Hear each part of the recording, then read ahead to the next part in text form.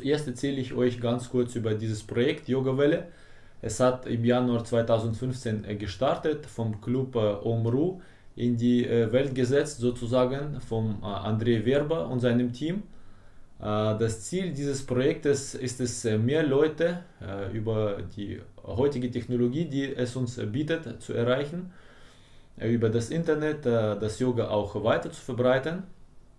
Zum anderen hat es auch den Sinn, wenn ihr auch in einer kleinen Stadt lebt oder ihr äh, den passenden Yogalehrer für euch nicht findet, könnt ihr doch hin und wieder mit äh, den Yogalehrern, vielleicht sogar eurer Wahl, wenn ihr uns kennt, äh, zusammen praktizieren, eure Erfahrungen sammeln, äh, bestimmte Theorie auch über das Yoga erfahren, über die Philosophie des Yoga erfahren und äh, könnt auch hier äh, natürlich weiter wachsen in dem, was ihr für euch äh, ausgesucht habt für euer Leben oder eine Seite eures Lebens, eben die Praxis des Yoga.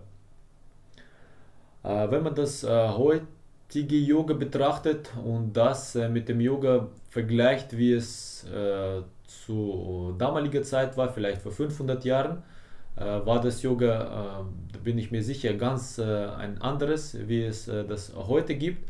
Vor 2000 Jahren war das Yoga auch wieder ein ganz anderes als vor 500 Jahren und als äh, das Yoga, was heute leider auch äh, verkauft wird und als ein Produkt äh, angeboten wird.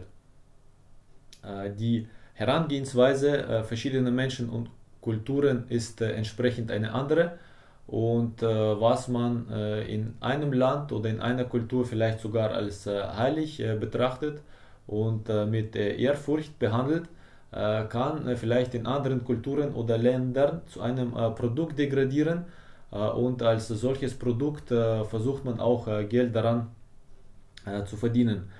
damit ist aber nicht nur das Yoga gemeint, sondern vielleicht auch andere Philosophien, Weisheiten oder Glaubensrichtungen.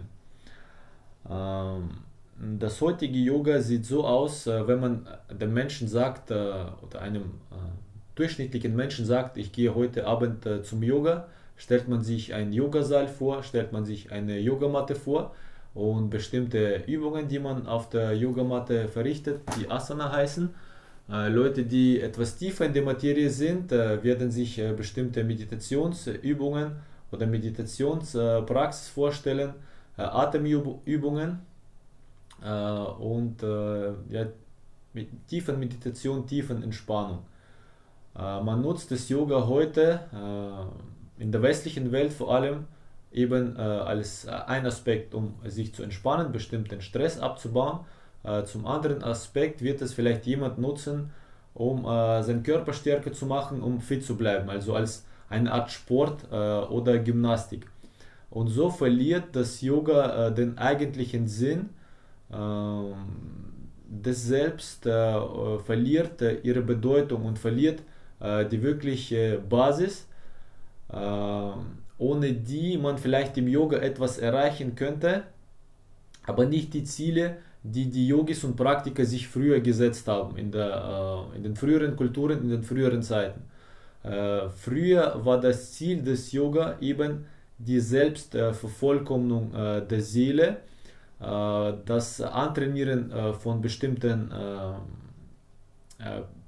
psychischen Techniken, die man halt äh, Meditation auch äh, bezeichnet, um äh, seine eigene innere Welt besser zu erfahren, besser zu erkennen und um äh, Anderswelten äh, zu erfahren und äh, zu erkennen. Man muss hier als erstes verstehen, dass die Welt nicht drei- oder vierdimensional ist, wie wir sie als Menschen vorstellen. Die Welt ist mehrdimensional und wir leben gleichzeitig in mehreren Dimensionen. Äh, um das äh, zu verdeutlichen, müsste man natürlich äh, jetzt äh, Beispiele voranbringen. Wenn wir in einer vierdimensionalen Ebene oder, Einheit leben würden, würden wir uns auf eine bestimmte äh, Zeitspanne bewegen und diese Zeit würde uns so ziemlich eingrenzen. Also wir könnten nicht zurückblicken, wir könnten nicht nach vorne schauen, wir könnten eventuell auch keine Gefühle und Empfindungen wahrnehmen, die der Mensch so wahrnimmt und wir könnten auch keine Fantasien und Pläne an morgen machen. Wenn der Mensch schlafen geht, erlebt er auch in seinen Träumen zum Teil seine Vergangenheit, äh, zum Teil kann er bestimmte äh, Fantasiewelten äh, durchleben oder durchschreiten in seinen Träumen. Zum anderen gibt es auch Träume, die einem Offenbarungen bieten. Also man träumt vielleicht dann etwas, was an diesem Tag passiert oder an einem anderen Tag passieren könnte. Also ist dieser feste Zeitvektor, der in der Physik als eine Linie gezeichnet wird, äh, ist er nicht immer als eine gerade äh, Linie zu betrachten. Ähm, es gibt hier auch äh, Abweichungen. Es gibt Menschen, die bestimmte andere Welten auch sehen können oder einblicken können, die parallel zu unserer Welt existieren. Es gibt bestimmte Energien, die uns umgeben, die der Mensch nicht immer wahrnehmen kann. Oft wird aber von diesen Energien geleitet, verführt oder geführt und äh, diese Energien nehmen Einfluss äh, auf den Menschen. Äh, heute haben wir leider dieses äh, Feingefühl, äh, dieses Verständnis über die feinstofflichen Welten verloren äh, und ja, unsere hellseherischen Fähigkeiten eingebüßt, aus dem Grund, weil alles heute technologisch ist, weil wir von einem Stromnetz umgeben sind in unserem Haus und äh, dieser äh, Strom bildet auch bestimmte Magnetfelder mit einer bestimmten Frequenz. Und diese Magnetfelder im Heimat und im Heimstromnetz oder im Hausstromnetz wirken äh, sehr äh, stark dämpfend auf unsere biomagnetischen Felder und auf unsere Bioenergetik. Äh, die wird so ja, unterdrückt, grob gesagt. Äh, Handymasten, Handynetze und alle anderen äh, technischen Signale, die in dem Raum äh, existieren, wir die aber nicht wahrnehmen, äh, schränken auch unsere Möglichkeiten und Fähigkeiten ein äh, als Mensch, unsere psychischen Fähigkeiten. Äh, früher haben die Menschen in der Natur gelebt, mit der Natur gelebt äh, und diese technogenen Krücken, die wir heute alle bekommen, haben damals gefehlt und der Mensch konnte seine äh, der tiefen Fähigkeiten, seine Möglichkeiten ja, ausbauen. Äh, er konnte sie benutzen und sie äh, für sich zum Gebrauch machen. Aber später im Verlauf der Lektion kommen wir auch noch einmal darauf zurück. Es gibt also Welten, in die der Mensch mit seinem normalen Auge nicht sehen kann, aber durch das Trainieren von seinen psychischen Fähigkeiten und Möglichkeiten kann er in andere Welten einblicken. Äh, es geht äh, dabei so weit, dass man in seine früheren Leben blicken kann. Leute, die noch mehr entwickelt sind äh, oder erleuchtete Wesen, zum Beispiel solche Wesen wie der Buddha, die konnten auch in die Zukunft sehen. Also da war dieser Zeitvektor unbegrenzt. Also sie konnten die ganze Vergangenheit und sie konnten die ganze Zukunft sehen, wie sie sich denn weiterentwickeln wird. Äh, zum Wort Yoga selber müssten wir auch jetzt noch äh, einiges äh, für eure Erklärung und Verständnis erörtern. das Wort selber wird aus zwei Silben zusammengesetzt, das Yo und das Ga. Das Jo hat in den indoeuropäischen Sprachen zum einen eine verbindende Wirkung, so wie im äh, deutschen Wort Joch, äh, so wie im englischen Wort äh, Joint, was äh, auch eine Verbindung bedeutet. Äh, aus den äh, Runen der anderen Kulturen ist die Silbe Jo als eine Erweiterung zu bezeichnen, als ähm, eine be bestimmte Bewusstseinserweiterung auch, weil die Rune dann ungefähr so äh, aufgemalt wird. Also zwei Pfeile, die auseinandergehen äh, und äh, ja ein Wachstum auch äh, bedeuten. Die Silbe Ga bedeutet äh, ein Weg oder eine Bewegung, also wie im äh, Deutschen haben wir gehen, im Englischen haben wir Gate, was Tor bedeutet. Äh, Im Deutschen haben wir das Wort Gang, also schreibt man groß, also der Gang. Und äh, wir haben auch im Russischen viele Wörter, die die Silbe Ga äh, drin haben. Die, und äh, die Etymologie dieser Wörter beinhaltet auch eine bestimmte Bewegung. Äh, also haben wir jetzt hier zum Beispiel Verbindung und eine Bewegung irgendwohin, also Verbindung mit was? Verbindung unserer äußeren Welt, weil äh, der Mensch als solches, was ich schon sagte, wir sind alle mehrdimensional aufgebaut. Im Menschen, äh, wenn man das mit einem äh, Kohl, Weißkohl zum Beispiel vergleicht, vergleicht, dann haben wir einen Strunk irgendwo in unserer inneren Welt und dann äh, haben wir die Kohlblätter, die um diesen Strunk aufgebaut sind. Die Persönlichkeit des Menschen also die Persönlichkeit äh, jeden von euch, wie ihr euch betrachtet und wahrnimmt, das ist nur der äußere, äh, der äußere Kohlblatt, sagen wir mal so. Äh, wo, wie werden diese Blätter aufgebaut? Das ist äh, eure Erziehung der Eltern, das ist eure Schulbildung, äh, das ist so bestimmte Mode, bestimmte Trends und Tendenzen, bestimmte gesellschaftliche Meinung, was in der Kultur, in der ihr geboren seid, vorherrscht. Und der Mensch denkt, der ist jetzt diese Hülle, also die Persönlichkeit. Äh, in Wirklichkeit äh, sind wir aber vielschichtig. Wir äh, haben viele Erfahrungen, die wir aus den früheren Leben mitbringen, wozu ich auch später komme. Und diese Verbindung, dieses Jo oder das Yoga, hat auch einen der Sinne, dass man diese Schicht etwas aufbricht und dass man aus dem inneren Strunk, äh, man kann das als Seele bezeichnen, äh, aus seiner wirklichen äh, Persönlichkeit, äh, die versteckt hinter diesen vielen Schichten ist, etwas nach außen zieht. Also dass man die Verbindung von der Oberfläche zu seiner Mitte schafft. Also dieser Weg nach innen, was wir hier haben als Gar, von der Oberfläche bis zu sich selbst. Also der Weg der Selbst Erkenntnis nach innen, der Weg der Selbstentfaltung, die wir hier in dieser Rune sehen, ist äh, eins äh, der Sinne. Und man kann natürlich auch durch äh, bestimmte Yoga-Praktiken äh, viele Weisheiten, viele Eigenschaften äh, von innen nach außen rausziehen. Also Eigenschaften und Weisheiten, die ihr während dieses Lebens und Ausbildung und Erziehung nicht wahrgenommen oder aufgenommen habt, Erfahrungen und Weisheiten, die ihr Leben für Leben vielleicht äh, ansammelt, strukturiert und äh, halt äh, in Ordnung bringt äh, und vervollkommnet, diese Weisheiten könnte man nach außen, nach außen bringen und ziehen.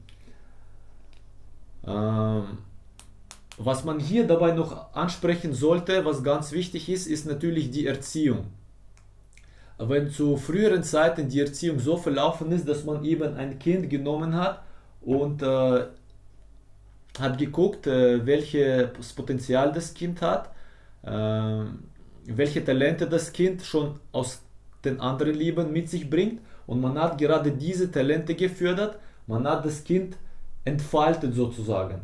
Man hat sein Inneres wachsen lassen, so wie bei einer Blume und jedes Kind ist zu einer Persönlichkeit geworden. Es gibt heutzutage auch ähnliche, äh, äh, wie soll man sagen, äh, äh ja, Schulstrukturen oder Ausbildungsstrukturen, äh, ähnliche Konzepte, genau das äh, Wort Konzepte ist mir nicht gleich eingefallen. Es gibt heute ähnliche Konzepte, die Kinder zu entwickeln, auszubilden. Hinter diesen Konzepten ist aber auch in letzter Zeit ziemlich viel Kritik, aber da will ich nicht näher drauf eingehen. Äh, die heutige allgemeine Schulbildung ist so, dass sie das Kind mit Wissen, was das Kind vielleicht auch nicht braucht, äh, mehr und mehr zupflastert. aus den Kindern äh, eine, so ein Durchschnittsbürger schafft. Es ist jetzt auch kein Geheimnis daran, dass das Schulprogramm so aufgebaut ist, dass man aus den Kindern Verbraucher schafft. Also anstatt äh, diese Blume aufgehen zu lassen, schmeißt man sie mit, betoniert man sie zu und das Kind ist verängstlicht, dem Kind fehlt Selbstbewusstsein, Selbstentfaltung und das Kind kann äh, ja gerade mal vielleicht seinen Lohn später ausrechnen und äh, sich einfallen lassen, wo er den Lohn dann investiert, in welche Vergnügen oder andere materiellen Dinge. Also die Herangehensweise heutzutage ist äh, eine ganz, ganz andere. Ähm, die zweite Verbindung, was in dem Wort äh, Jo oder Yoga steckt, ist denn die Verbindung äh, zum Schöpfer oder die Verbindung zum Allerhöchsten. Wir sind äh, auf der Erde im äh, Großen und Ganzen äh, Vertreter des Schöpfers. In dem Sinn, wenn man jetzt sich äh, einen riesen Ozean vorstellt und der riesen, der riesen Ozean ist, äh, ist Gott, wenn man das jetzt gleichsetzt, ist jeder Mensch ein kleiner Tropfen in diesem Ozean. Und dieser kleine Tropfen äh, sammelt seine eigene Erfahrung. Also Gott kann nicht selber durch seine eigene Person oder Persönlichkeit, sagen wir mal so, Erfahrung sammeln. Wir als Vertreter sammeln diese Erfahrung als Seelen. Also jede Seele ist ein kleines Teilchen von ihm. Und zum Schluss geben wir unsere individuelle Erfahrung in diesen großen Erfahrungsschatz oder in diesen großen Erfahrungsozean ab.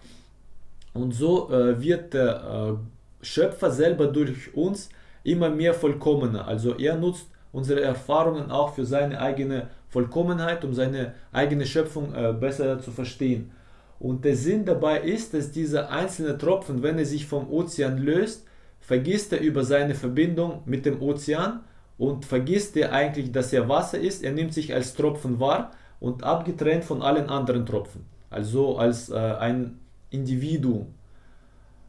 Äh, der Weg dieses Tropfens sollte eigentlich äh, folgender sein, dass der Tropfen sich erinnert, dass hier auch Wasser ist, dass er von seiner Eigenschaft anderen Wassertropfen gleicht und dass hier dem Ozean von seinen Eigenschaften auch gleicht. Also Ozean gleich Schöpfer zu setzen. Und dann beginnt er allmählich diesen Weg zurück. Er baut wieder diese Verbindung auf, also hier durch das Yoga und verbinden sich dann nach bestimmten äh, Zeitabschnitten, in dem er ein Tropfen gewesen ist, verbindet sie sich wieder mit dem Ozean. Dann ist er als Tropfen auch nicht mehr wahrzunehmen und er nimmt sich selber als Tropfen auch nicht mehr wahr. Er ist dann ein Stück vom Ozean und ist mit dem Ozean verschmolzen. Äh, nicht nur auf physischer Ebene, wenn man das so betrachtet, sondern auch auf Informationsebene. Wenn der Tropfen vom Ozean gelöst ist, verfügt er nur über die Information seiner äh, Eigenständigkeit oder Individualität. Wenn er mit dem Tropfen wieder vereint ist, verfügt er über die ganze Information und Wissen, über die das ganze Ozean verfügt. Also das ist äh, auch wichtig zu erkennen und zu wissen. Und dadurch, dass wir diese Verbindung wieder aufbauen zum äh, Urozean, also zum Schöpfer, bekommen wir von dort auch mehr und mehr Wissen, bekommen wir von dort auch eine bestimmte Leitung und Unterstützung. Was das mit dem eigentlichen Yoga auf der Matte zu tun hat, äh, da müssen wir auch äh, langsam eine Herangehensweise schaffen in dieser Lektion. Man muss verstehen, dass es vier Pfeiler des Yoga gibt oder die vier Pfeiler im Yoga gibt, ohne die das Yoga wenig Sinn oder äh, gar keinen eigentlichen Sinn machen würde, wie ich das vorhin angesprochen habe. Äh, ohne diese vier Pfeile würde das Yoga zu einem Sport oder Gymnastik verfallen. Aber wie ich das am Anfang schon sagte, wenn man das mit dem Sinn nutzt, mit dem es geschaffen wurde, hat man viel mehr davon und das Yoga wird dann für einen Menschen um einiges interessanter, um einiges wirkungsvoller für sich selber und auch für seine Mitmenschen weil äh, jeder dieser Tropfen, was ich auch bei einer anderen Lektion angesprochen habe, wenn er es schafft, äh, sich zu entwickeln, zu strahlen, strahlt er seine Energie auf andere Tropfen ab. Und so ist die Praxis von jedem von euch, wenn ihr mit euren Energien arbeitet und sie aufbaut, wirkt unmittelbar auf die Menschen, die euch umgeben, die Menschen, mit denen ihr im Kontakt steht, in irgendeiner Art und Weise, mit den Menschen, mit denen ihr kommuniziert. Um das zu verdeutlichen, erzähle ich euch auch ein Beispiel, das jeder von euch kennt. Angenommen, ihr habt äh, gute Laune, ihr habt einen äh, schönen Tag, ihr seid am Morgen aufgewacht, ausgeschlafen, die Sonne scheint und äh, ihr denkt euch, ja, an diesem schönen Tag kann ich äh, sehr viel anpacken und kann sehr viel schaffen. Auf einmal ruft euch eine Person an, die sehr, sehr schlechte Laune hat und fängt äh, an, euch ihre Probleme zu erzählen, äh, bei euch auszuweinen. Vielleicht äh, eine andere Person, äh, die euch dann anfängt auch irgendwie zu kritisieren und seine schlecht, schlechte Laune auf euch überwirft. Und der Tag ist dann für euch gegessen nach so einem Anruf, vielleicht Viertelstunde, halbe Stunde, wenn ihr mit diesem Menschen gesprochen habt. Ihr habt mit ihm Energien ausgetauscht der Mensch hat auf äh, unbewusster Ebene gespürt, dass ihr energiegeladen seid, dass ihr positive Energie habt. Und der Mensch äh, hat vielleicht bewusst, vielleicht unbewusst direkt eure Nummer gewählt, und, äh, um sich direkt bei euch auszuheulen, weil ihr eben diese Energie hattet. Er hat von euch etwas Energie äh, abgezapft oder abgenommen, hat etwas von seiner Energie äh, an euch abgegeben. Ihr seid dann mit dieser seinen Energie beschäftigt, könntet die Wände hochgehen, habt schlechte und miese Laune oder Depressionen oder sonstiges und bereut dann, dass ihr überhaupt den Hörer abgenommen habt. Das ist jetzt so ein, einmal ein ganz krasses Beispiel, um das zu verstehen, wie der Energieaustausch erfolgt. In Wirklichkeit tauschen wir äh, stets immer mit jedem Menschen, mit dem wir kommunizieren, Energie aus. Aber wenn die Energie auf der gleichen Ebene ist äh, mit den Mitmenschen, dann merken wir, also diesen Energieabfall oder den Energieanstieg nicht. Manchmal gibt es Menschen, mit denen wir kommunizieren, die laden uns direkt mit ihrer Energie auf. Die geben uns ähm, gute Laune, die geben uns äh, also guten äh, Vorausblick äh, und äh, ähm, unterstützen uns mit, ihren, äh, mit ihrer Sprache, mit ihren Wörtern, mit ihrer Energie und wir können auch stark und gut nach vorne gehen durch Kontakt mit solchen Menschen. Das ist halt so das andere Gegenteil. Wenn ihr dann Yoga praktiziert, da heißt es, ihr arbeitet an eurer Energie auch, ihr macht sie reiner und konvertiert sie auf eine höhere Ebene und Menschen werden dann auch bestrebt sein, zu euch Kontakt aufzunehmen, mit euch zu sprechen. Oft sind es aber ganz einfache Lappalien, die wollen euch ihre Geschichten erzählen, was sie heute so Tolles erlebt haben oder was sie gestern so Tolles er erlebt haben. Die suchen nur Kontakt mit euch, also äh, die wollen äh, mit euch sprechen, oft äh, ohne ersichtliche für diese Leute äh, Gründe. wenn wir schon dabei sprechen äh, über Energieaustausch und Energien, müssten wir das, den ersten Pfeiler aufschreiben. Dann machen wir das ganz groß der erste Pfeiler des wahren Yoga oder des Yoga auf erwachsene Art und Weise, wie man es früher auch unterrichtet hat, ist das Karma und das Gesetz des Karma. Ist äh, sehr, sehr wichtig zu verstehen. Wir äh, bleiben jetzt äh, bei äh, diesem Thema einige Minuten lang und äh, werden es erklären und erörtern. Es gibt in vielen Sprachen, in vielen Kulturen bestimmte äh, ja, Sprüche oder Redewendungen, die dieses Karma-Gesetz auf eine äh, einfachere oder vereinfachte Weise verdeutlichen und erklären. Zum Beispiel gibt es äh, einen Spruch, wer anderen eine Grube gräbt, fällt selbst hinein. Äh, wie man in den Wald schreit, so halt es wieder zurück. Hm, was du nicht äh, willst, dass man dir tut, das füge auch keinem anderen zu. Äh, das waren mal deutsche Redewendungen. In Russisch gibt es ähnliche Redewendungen, äh, wie man bettet, so schläft man auch und äh, wogegen man kämpft, auf ja, das wird man auch selber stößen oder darunter wird man auch selber leiden. wenn man zu einem Menschen sagt, es gibt das Karma-Gesetz, das Karma wirkt, dann ist es ein bisschen amorph, dann kann der Mensch sich darunter nichts vorstellen. Durch äh, solche Redewendungen wird es dem Menschen deutlicher oder für den Menschen wird es deutlicher, wenn ich dem anderen Menschen Schaden oder Schmerzen zufüge, muss ich damit rechnen, dass dieser Schmerz, dass dieser Schaden früher oder später zu mir kommt. Auch wenn ich dem Menschen etwas Gutes zufüge, kommt das Gute auch zu mir. Also das müsste man verstehen. Äh, Karma bedeutet auf Deutsch einfach äh, Handlung. Oder Handeln. Also ihr müsst verstehen, alles was ihr tut, schafft für euch positives oder negatives Karma, abhängig von äh, den Taten entsprechend. Äh, sogar in Physik gibt es das äh, Energieerhaltungsgesetz. Also es kann Energie nicht äh, ins, nirgendwo verschwinden oder sich irgendwie auflösen. Wenn ihr eine bestimmte Tat ausübt gegenüber einem anderen Menschen, sagen wir mal so, ihr tut ihm etwas Schlechtes, diese Energie ist nicht verschwunden, sie bleibt in diesem Menschen. Bis der Mensch diese Energie vielleicht an jemand anders weitergegeben hat, an jemand Schwächeren oder jemand Schwächeres dann auch beleidigt hat. Dieser Schwächere beleidigt dann wieder jemand oder er trägt diese Energie mit sich und ihm geht es nicht gut. Aber auf diesem Energiebündel, das ihr als erstes dem Menschen abgegeben habt, steht irgendwo auch eure Adresse.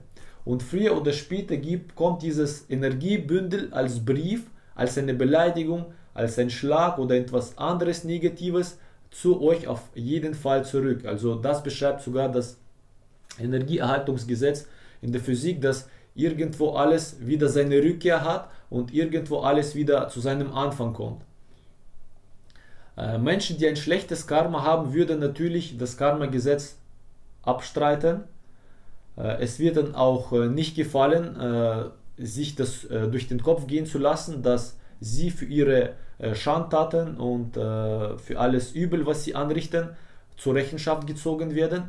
Aber die Rechenschaft ist nicht so, dass man dann irgendwo, wenn man Verbrechen begeht, in einem Gefängnis landet. Das ist noch ein bisschen zu milde. Wenn man schon jemanden ins Gesicht schlägt, müsste man selber erfahren, wie das ist, ins Gesicht geschlagen zu werden. Und das Universum ist so rechtschaffend äh, aufgebaut mit dem Karma-Gesetz, dass äh, jeder Schlag, den ihr anderen Menschen ins Gesicht verpasst habt, in eurem diesem Leben oder im früheren Leben, schafft das Universum bestimmte Voraussetzungen für euch, ob ihr das wollt oder nicht dass ihr alle Schläge, die ihr ausgeteilt habt, auch früher oder später zurückbekommt. Es ist jetzt äh, vielleicht etwas äh, krass, wenn man das äh, weiter fortführt und sich so ausdrückt, aber Menschen, die gemobbt werden von äh, vielen äh, Leuten oder in einer Klassengemeinschaft, eine äh, große Wahrscheinlichkeit liegt darin, oder, ja, weil sie das Karma eben haben, gemobbt zu werden. Es ist ihre Vergangenheit, weil sie früher auch so waren und andere gemobbt haben. Und in diesem Leben kriegen sie nur diese Rückantwort des Karma zurück. Das müsste man auf alle Fälle verstehen und verstehen, dass alles, was mit euch passiert in eurem Leben, das ist kein Schicksal oder kein Zufall, sondern das sind die Früchte eurer eigenen Taten. In der heutigen Welt wird das Karma-Gesetz leider oft abgestritten, von, vor allem von bestimmten Strukturen, die dann äh, der Welt propagieren, wir leben nur einmal, nimmt alles vom Leben und wenn ihr irgendwas äh, Schlechtes äh, ja, begangen habt oder gemacht habt, mein, na und, es wird halt jemand äh, weinen dabei oder es wird ihm schlecht gehen, aber ähm, ja, ihr wird äh, weiter tun können, was ihr eigentlich schon tut. Also äh, es ist äh, zu bestimmten Zwecken auch äh, das Karma-Gesetz, dass es nicht für ernst genommen wird. In den Schriften heißt es, wer das Karma-Gesetz abstreitet oder verneint, es ist eine der größten oder die größte seelische oder psychische Krankheit, das nicht zu verstehen oder das nicht verstehen zu wollen. Und bestimmte göttliche Kräfte und bestimmte göttliche Instanzen sind äh, immer am Schauen und immer am Kontrollieren, dass das Karma-Gesetz ideal ausgeführt wird. Dass jeder nicht mehr und nicht weniger von dem bekommt, was er für sich selber geschaffen hat. Warum ist es wichtig für das Yoga? äh, wenn wir denken, dass wir in einen Yoga-Raum kommen, den Teppich ausrollen und auf der Yogamatte schöne Übungen machen, nur weil wir Geld dafür bezahlt haben, dann kann ich euch sagen, dass es so nicht ist und nicht sein kann. Meine Erfahrung zeigt es, dass es nicht so einfach ist, in einen Yoga-Raum zu kommen, dass nicht jeder das Karma hat, in einen Yoga-Raum zu kommen und den Teppich auszurollen. Ihr kommt zu einem Yoga-Seminar, zu einer Yoga-Veranstaltung. Ihr könnt auch diese Veranstaltung heute, die Yoga-Welle, besuchen, nur weil ihr das Karma dafür habt, weil ihr euch positives Karma in der Vergangenheit geschaffen habt, könnt ihr jetzt mit diesem Karma evolutionieren äh, und äh, euch, äh, Entschuldigung, und euch weiterbilden sozusagen. Nicht im Sinne von intellektueller Weiterbildung, sondern im Sinne von äh, seelischer oder besser gesagt, eure Jivatma kann dadurch evolutionieren, mehr äh, geistige Erfahrung sammeln. Es kann natürlich dann auch so sein, dass der Mensch das Karma nur für einen bestimmten Zeitabschnitt hat, einen Yoga-Kurs, Unterricht zu besuchen. Und wenn er dieses Karma ja verarbeitet oder verwirkt hat, schließen sich für ihn die Möglichkeit, in einen Yogasaal zu gehen und Yoga zu praktizieren. Ist auch schon durch äh, Erfahrungen, durch Statistiken äh, hunderte von Mal nachgewiesen, dass die meisten Menschen sich nur für eine bestimmte kurze Zeit im Yoga aufhalten.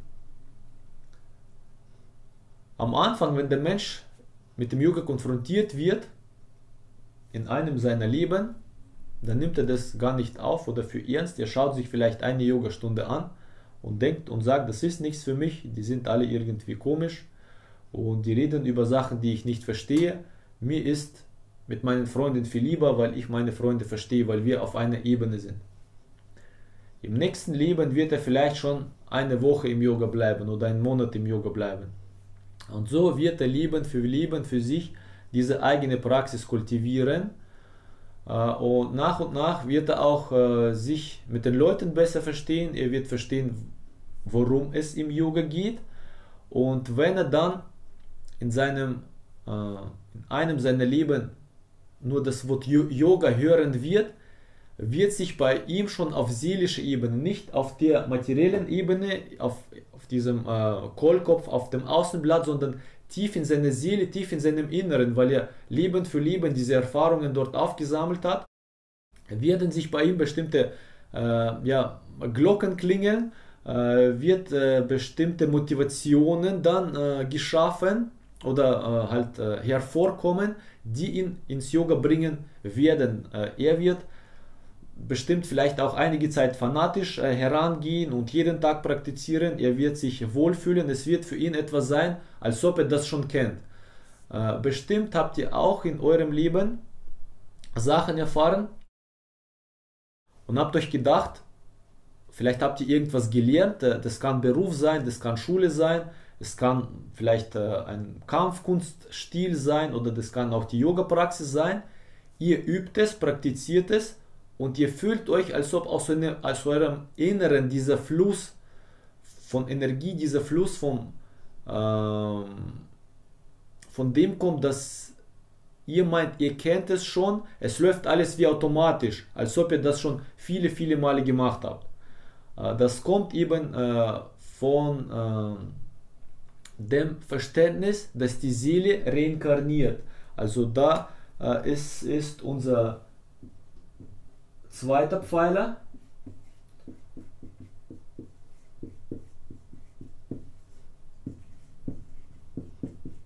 Reinkarnation.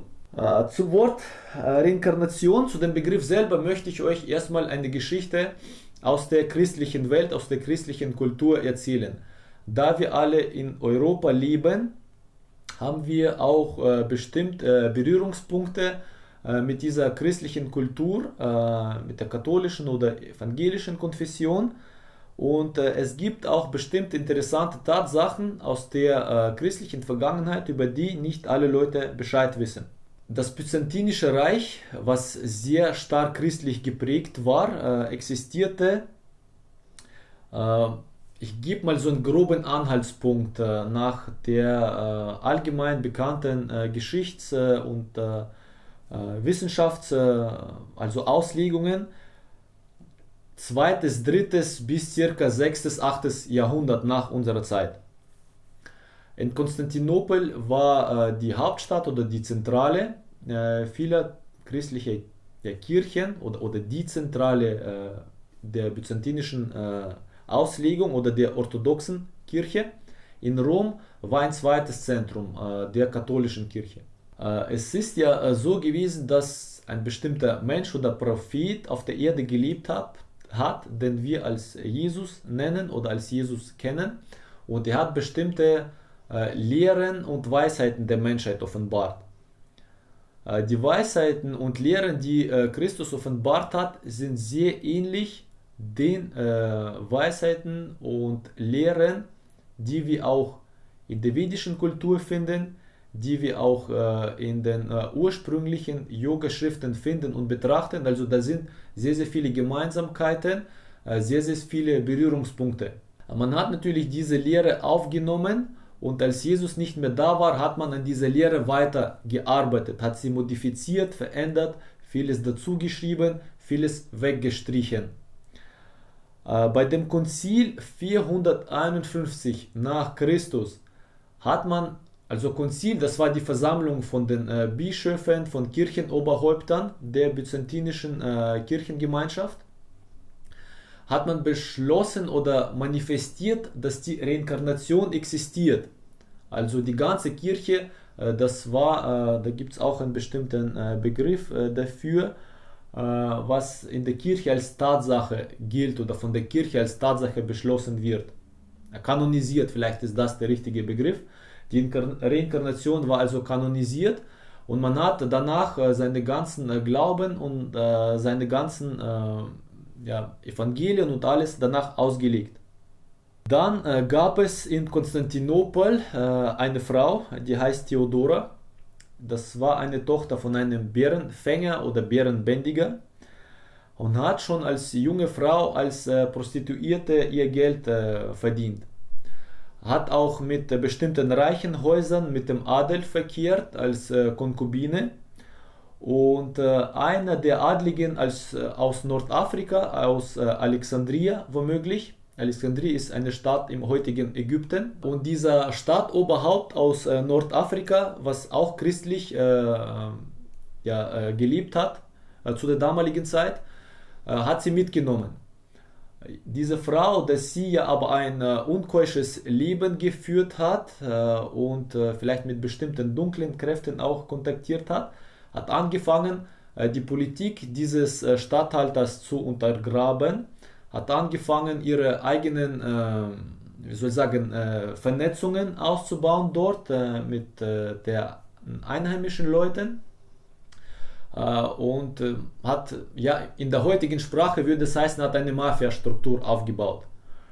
dieser Statthalter, als er hinter ihren Taten gekommen ist, als er erfahren hat, was das für eine falsche Schlange ist, hat sie natürlich verbannt, rausgeschmissen und so ist sie nur mit ihren Gewändern, äh, sie musste ihr Hab und Gut, was sie dort angesammelt hat, zurücklassen in Nordafrika, äh, musste sie nach Konstantinopel, also nach Hause zurückkehren. Äh, vor den äh, Stadtmauern von Konstantinopel traf sie dann auf einen Mönch. Es war ein Asket, was zu früherer Zeit auch sehr weit verbreitet war. Äh, dieser Asket äh, hat eine Lehre praktiziert, die Monophysitismus heißt, also die Lehre vom einen Leben. Man lebt nur einmal und danach kommt man ins Nichts, also danach existiert nichts mehr. Dieser Mönch äh, hat sie in ihrer äh, Höhle aufgenommen für eine Zeit lang und hat ihr wahrscheinlich von seiner Glaubensrichtung und, oder von seiner Überzeugung von dem einen Leben berichtet. Und sie hat natürlich das für sich aufgefangen. Äh, natürlich, weil sie ja schon mit dem Adel verkehrt hat, äh, musste sie oder hat sie in Konstantinopel auch angefangen, sich äh, in diesen Kreisen, sozusagen mit diesen Kreisen zu kommunizieren. In diese Kreise ist sie eingetreten, bis sie zu einem bestimmten Kirchenoberhaupt oder sogar Kaiser, der Justinian hieß, war sie zuerst als seine Konkubine tätig, danach wählte er sie als seine erste Frau. Äh, natürlich, äh, als äh, die Frau eines Herrschers hatte diese Theodora auch sehr viel Macht, sehr viel Einfluss, hat natürlich auch die katholische Kirche etwas untergraben, dass sie auch nach Rom ihre Spitzel und ihre Leute geschickt hat und die in Rom auch dann die Oberhäupter ausgewechselt haben und ihre Politik durchgeführt haben von der Theodora, ist sie dann in ihrem Wahn so weit gegangen, dass sie sich selber angefangen hat zu vergöttern. Und natürlich durch ihre eigenen Missetaten und durch ihre eigene viel, so viel Verhalten äh, würde so ein Mensch wie sie niemals es wahrhaben wollen, mal als eine Bettlerin oder mal als jemand Armes zu reinkarnieren. Äh, und dann hat sie eben diese Lehre vom äh, Monophysitismus ja, ausgebaut, ausgeweitet und wollte sie auf die ganze Gesellschaft, in der sie lebt, ausbreiten. Äh, hat natürlich dann äh, in Konstantinopel mit dem Justinian äh, Absprachen getroffen, dass sie die Reinkarnation jetzt öffentlich aus der Bibel streichen und die Lehre vom Ein Leben einführen für alle Menschen, weil die Menschen dann leicht zu kontrollieren sind. Andererseits ähm, ist es für bestimmte Strukturen dann eine Rechtfertigung für ihr Verhalten. Sie konnten dadurch oder die Kirche konnte dadurch noch mehr an Weltmacht gewinnen und an Einfluss äh, gewinnen äh, und äh, haben dann äh, öffentlich bei einem äh, anderen äh, Konzil 547 circa war das nach Christus die Inkarn Reinkarnation aus der Bibel herausredaktiert, aus ihrem Weltverständnis herausredaktiert und haben diese Lehre vom einen Leben eingeführt. Die Theodora starb dann auf äh, eine bestimmte traurige Weise. Man nimmt an, dass sie an Krebs mit 39 Jahren starb. Das ist ein sehr früher Tod. Aber wenn man äh, ein so schlechtes Leben führt, äh, voller Intrigen und allem anderen negativ, dann denke ich mal, ist auch die Gesundheit, die darunter sehr stark leidet. Die physische und natürlich auch die psychische Gesundheit. Äh, ein anderer interessanter Bericht aus dieser Zeit, äh, als ein anderer Mönch, also man muss die Gesellschaft vielleicht unterteilen. Es gab wirklich Menschen, Mönche, Glaubensorden, die nach der Lehre Jesu geliebt haben und eine äh, ja, saubere Lehre praktiziert haben. Manche sind aber äh, angefangen, äh, etwas in eine andere Richtung zu schauen und äh, ja, zu verkommen, grob gesagt. Und ein Mönch mit äh, guten hellseherischen Fähigkeiten musste dann beim Justinius vorsprechen. Er kam aus einer Provinz äh, und äh, hat über ein Verbrechen, wollte dem König äh, berichten.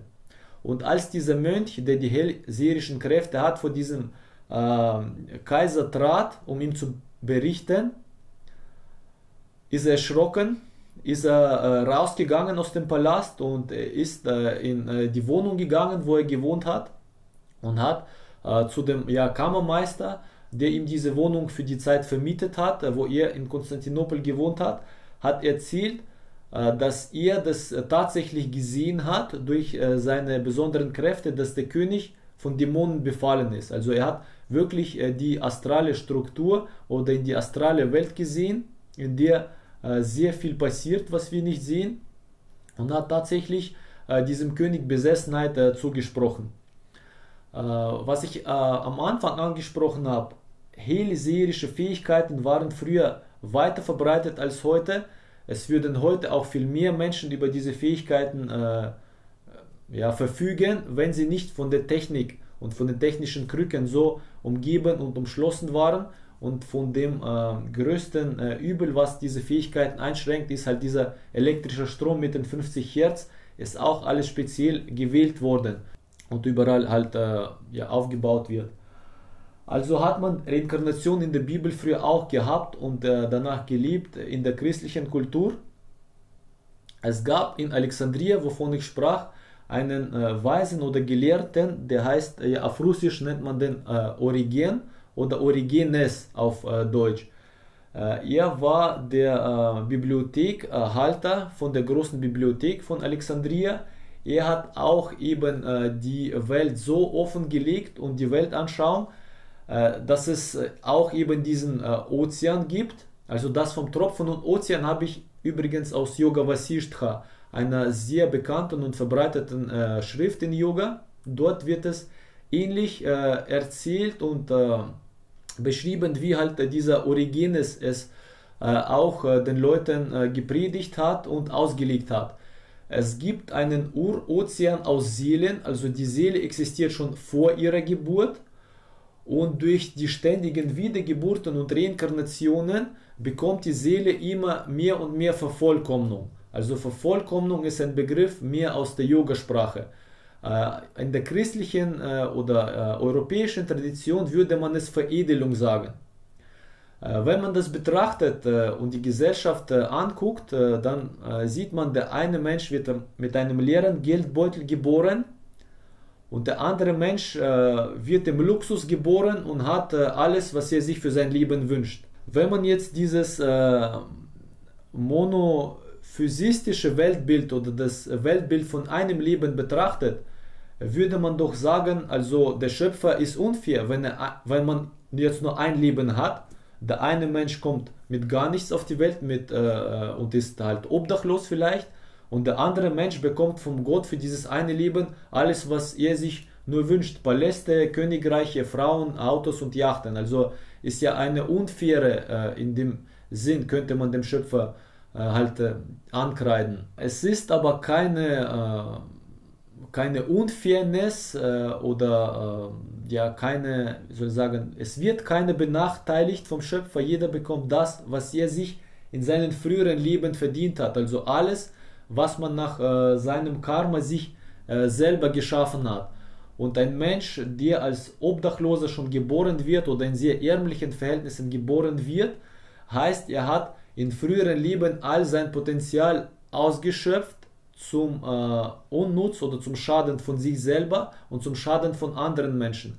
Und so äh, muss er wieder von vorne auf anfangen und sich sein Potenzial erst aufbauen. Ein Mensch, der sehr viel Potenzial aus den früheren Leben mitbringt, äh, hat nun mal äh, ja, viele Sachen, viele Möglichkeiten im Leben. Er äh, lebt äh, ja, in einem bestimmten Wohlstand auch in den äh, die Gesellschaft ihm äh, bieten kann.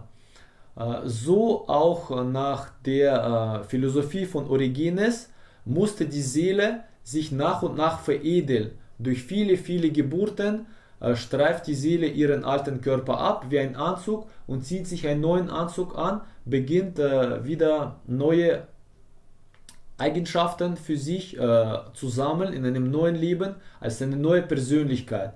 So ähnlich wie in einem Theater ein Schauspieler, der einen bestimmten Namen trägt, äh, kann der Schauspieler jeden Tag eine neue Rolle spielen und einen anderen Kostüm schlüpfen.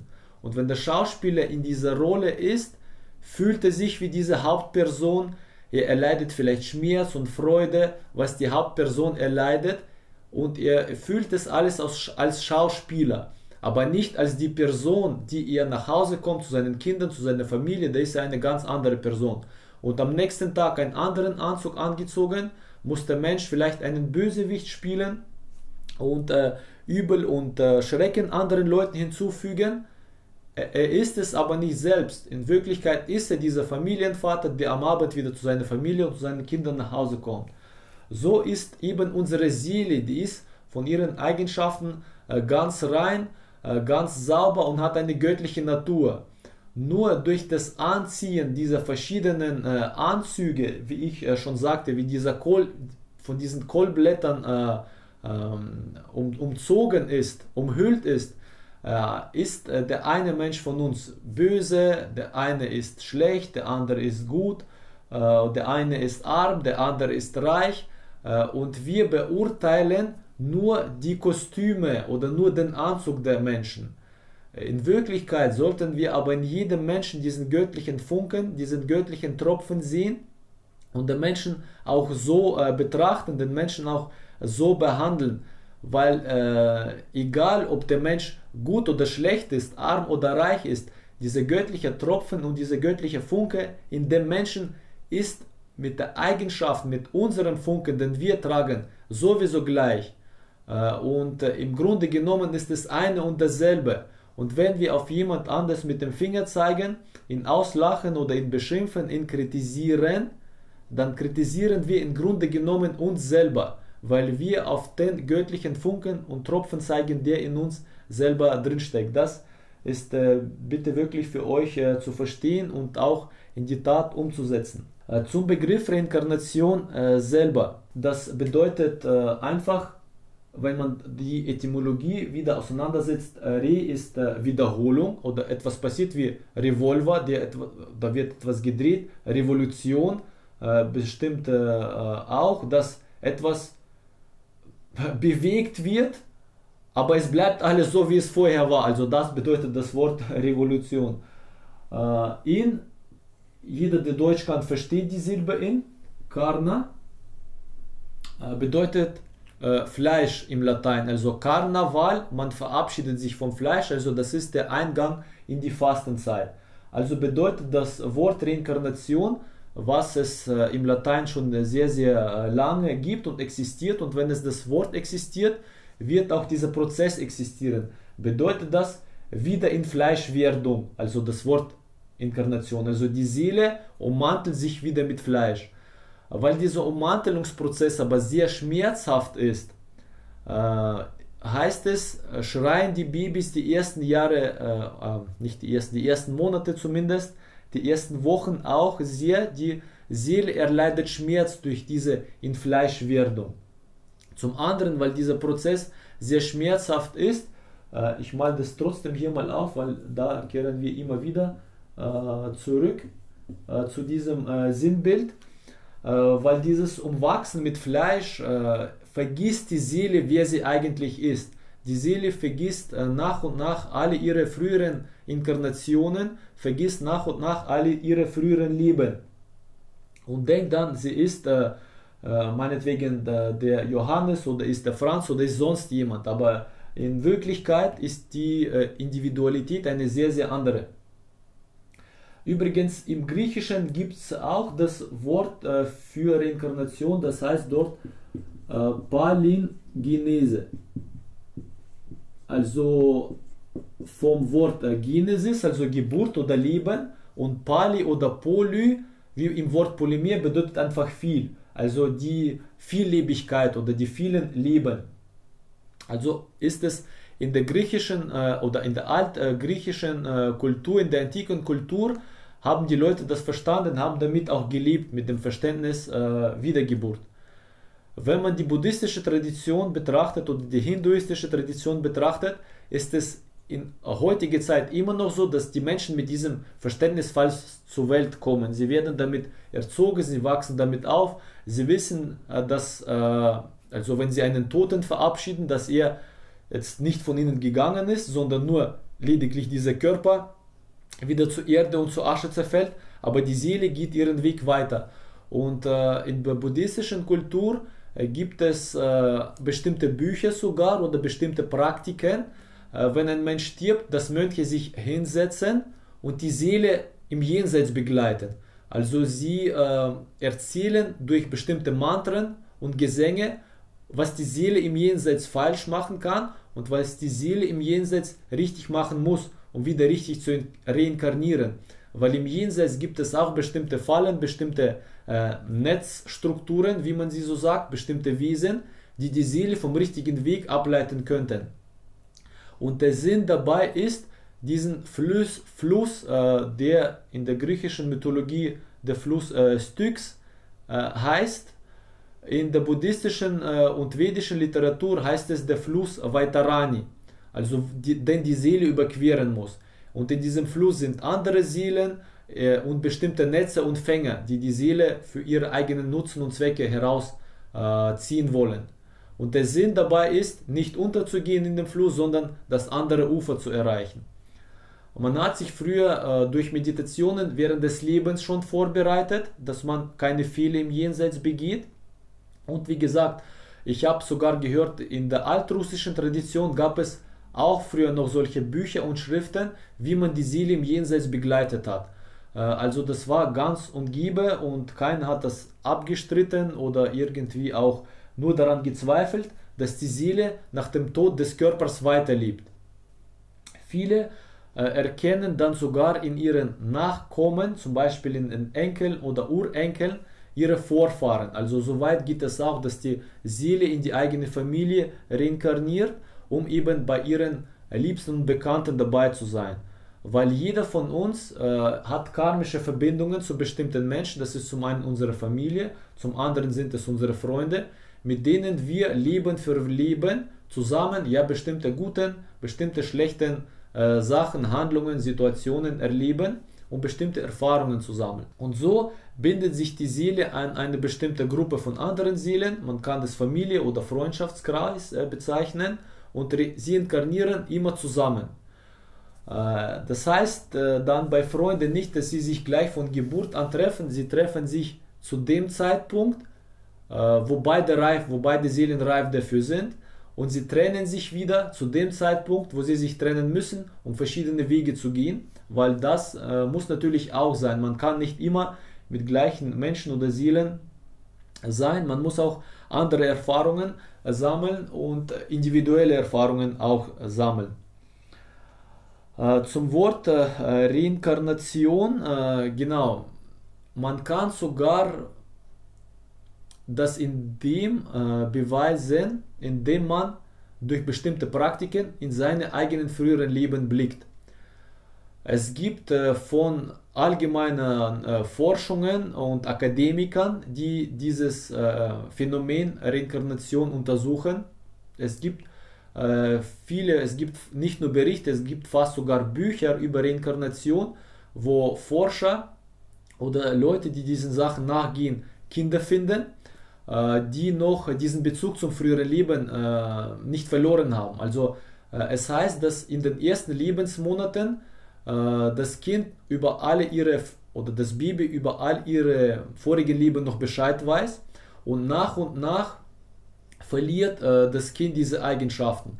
Manche Kinder können sich noch daran erinnern und erzählen dann, äh, zum Beispiel, ich war so und so ein Mann, ich hatte den Beruf ausgeübt, ich habe in so einem, in so einem Haus gewohnt, in so einem Land, ich habe so eine Sprache gesprochen. Äh, dann fahren natürlich diese Forscher äh, in dieses Land, suchen dieses Haus, diese Straße, suchen diese Familie und tatsächlich äh, erzählen die verbliebenen Freunde und Verwandten, dass so ein Mensch existiert und gelebt hat und dass so ein Mensch in, die, in diesem Jahr gestorben ist.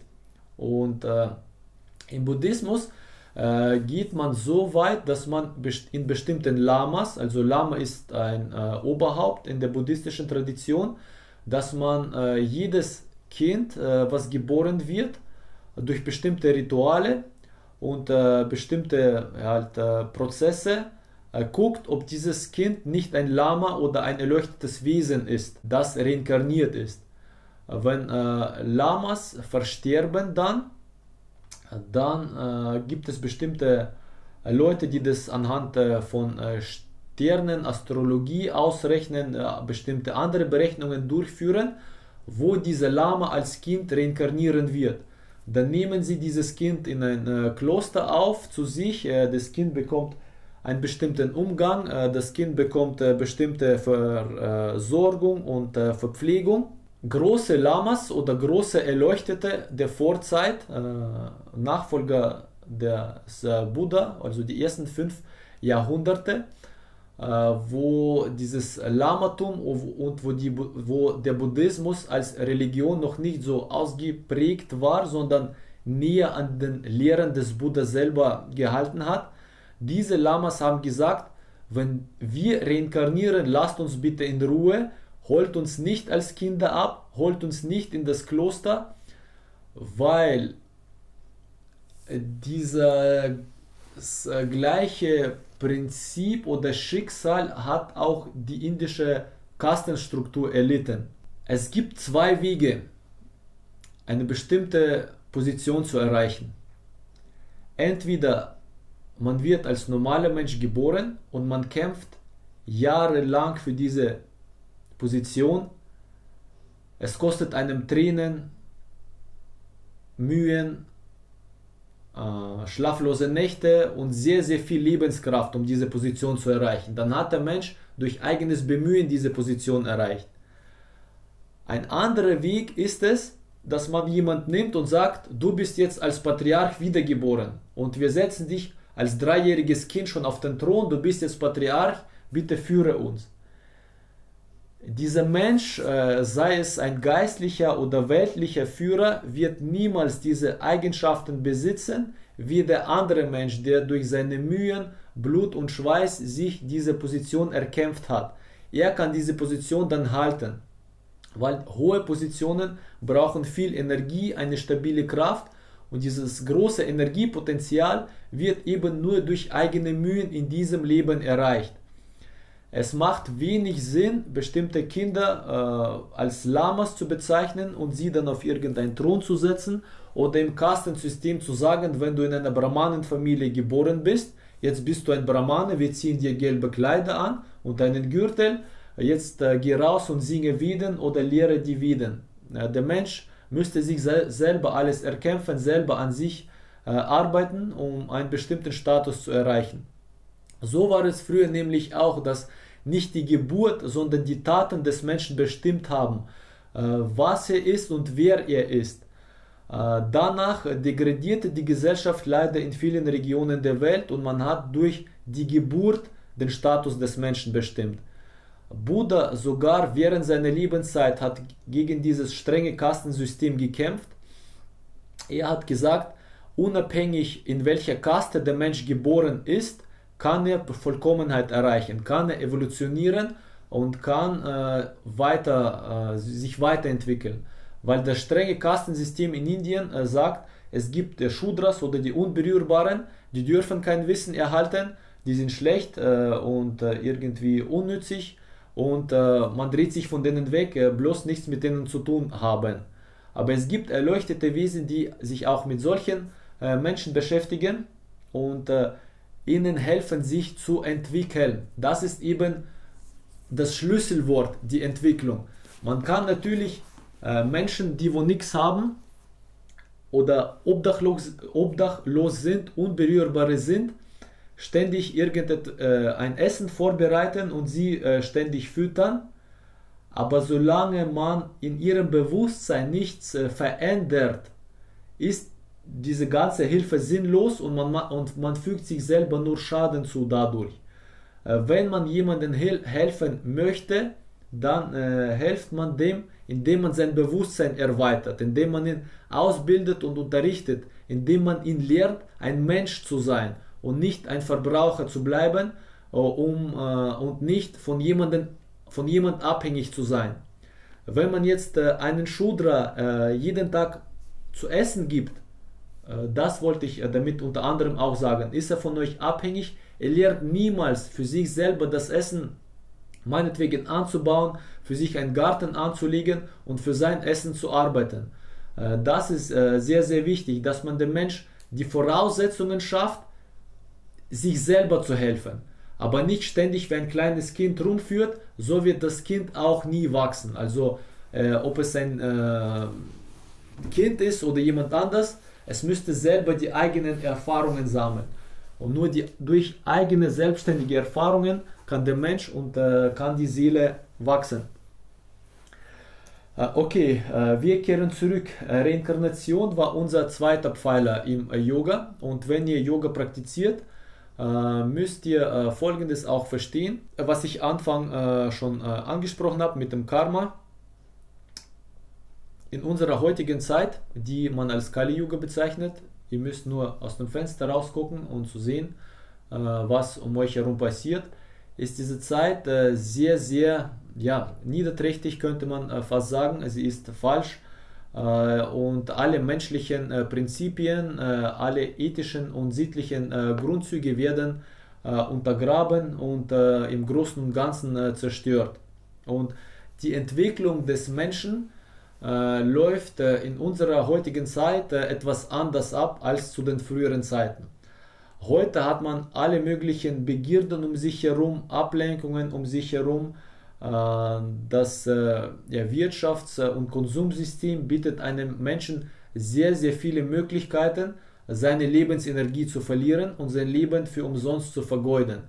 Und äh, viele Menschen äh, lassen sich auch auf diesen Haken setzen. Sind wie so beim Fischfangen diese blinkenden Sachen, die wo uns umgeben. Äh, das sind oft nur äh, Fallen und wenn man dann am Haken sitzt, kommt man nicht so leicht wieder von diesem äh, Haken runter. Ein Mensch, der während dieser dunklen Zeit, während der Kali Yuga es schafft, äh, Yoga zu praktizieren und zu evolutionieren, bedeutet äh, nur das, dass dieser Mensch dieses Potenzial schon aus dem früheren Leben bringt und in den früheren Leben, als die Zeiten besser waren, als äh, man äh, zur Praxis und zu Yoga noch einen ganz anderen Bezug hatte, dieser Mensch hat in diesen Zeiten auch schon sehr ernst und sehr viel praktiziert und viele, viele Leben praktiziert. Nur jetzt hat er seine ähm, Eigenschaften und hat alle seine Fähigkeiten vergessen. Leider äh, durch diese Prinzipien und Vorgehen, was ich äh, hier oben auch äh, erzählt habe. Also, dass ihr im Yoga seid und bleibt, heißt es, ihr habt es schon äh, früher praktiziert, in äh, früheren Leben. Deshalb zieht es euch jetzt auch in diesem Leben an. Von den Methoden, äh, wie man in die früheren Leben blicken kann, müsste ich noch Folgendes erzählen. Äh, zum einen kommt es spontan, wie bei solchen Kindern, äh, wo man Nachforschungen aufstellt. Durch bestimmte Traumen, die der Mensch erlebt, äh, das können psychische Traumen sein oder das können physische Traumen sein. Vielleicht hat, verletzt sich der Mensch ganz stark auf dem Kopf oder kommt in einen Unfall und dann äh, hat er so äh, kurze plötzliche Einblicke in sein Leben und sieht bestimmte Fragmente aus den früheren Leben. Äh, andere Beispiele oder Methoden äh, ist äh, die Rückführung oder eine bestimmte Hypnose, die von einem Hypnotiseur angeleitet wird. heißt regressive Hypnose. Der Mensch leitet euch, bereitet euch vor, leitet euch hinein und kann euch so in eure früheren Leben ja, weisen oder zeigen, ihr seht dann auch bestimmte Fragmente aus eurem früheren Leben. Der Nachteil dieser Methode ist der, dass das natürlich vom Hypnotiseur abhängt, was ihr seht. Wenn der Hypnotiseur äh, äh, sehen möchte, dass ihr, also wenn wir hier diese Lebenslinie betrachten, diese Lebenslinie ist in sehr, sehr viele, also das ist die Seele und die Abschnitte sind die verschiedenen Leben. Und die Seele geht von einem Leben zum anderen. In diesem Leben habt ihr vielleicht im Frieden gelebt und die Welt und die Gesellschaft für euch war eine sehr, sehr gute. Ihr habt nur Positives erfahren. In diesem Leben habt ihr in Kriegszuständen gelebt, musstet selber in den Krieg ziehen, mit Leuten kämpfen, wurdet vielleicht umgebracht, musstet vielleicht andere umbringen. Äh, dann war es vielleicht äh, eine Zeit, wo alles nur still war.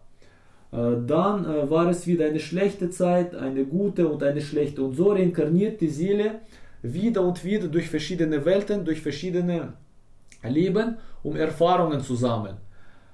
Äh, der Hypnotiseur in der regressiven Hypnose, wenn er dann meint, er soll euch einen Abschnitt eines negatives Lebens zeigen, wird er euch unbewusst auch in dieses Leben führen und ihr seht etwas Negatives aber nicht das, was ihr sehen müsst, um nach vorne zu wachsen. Nicht das, was für euch jetzt aktuell ist. Vielleicht, vielleicht schon. Oder wenn der Hypnotiseur gut gesinnt ist äh, und möchte, dass ihr etwas Positives sieht, wird ihr nur ein Fragment aus eurem positiven Leben sehen. Aber das ist bei weitem nun noch nicht die ganze Zeitspanne. Ihr wisst vielleicht, wenn man aus dem Kontext einen Satz herauslöst, dann hat dieser Satz eine umgedrehte Bedeutung oft als der ganze Kontext. Und wenn ihr durch äh, so eine Rückführung nur ein kleines Fragment aus eurem früheren Leben seht, aber nicht ähm, das ganze Bild, wird ihr vielleicht auch ein umgedrehtes Bild oder Verständnis von dem haben, was tatsächlich passiert ist. Eine viel sicherere Methode in die früheren Leben zu blicken, äh, ist äh, die eigene Meditation. Äh, dazu braucht man natürlich aber sehr viel Energie, um mit äh, dieser Kraft äh, in die früheren Leben zu blicken, hineinzugehen. Das passiert oft oder am, die meisten Fälle, wo die Menschen in die früheren Leben blicken können, passiert durch ein Retreat oder Vipassana, wie man das auch nennt. Der Mensch müsste sich zurückziehen für eine bestimmte Zeit.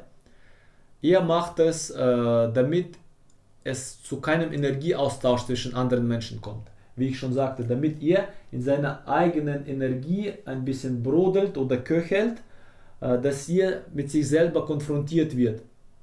Zum anderen hat es den Sinn, in ein Retreat zu gehen, dass ihr während einem Retreat Energie aufbauen könnt.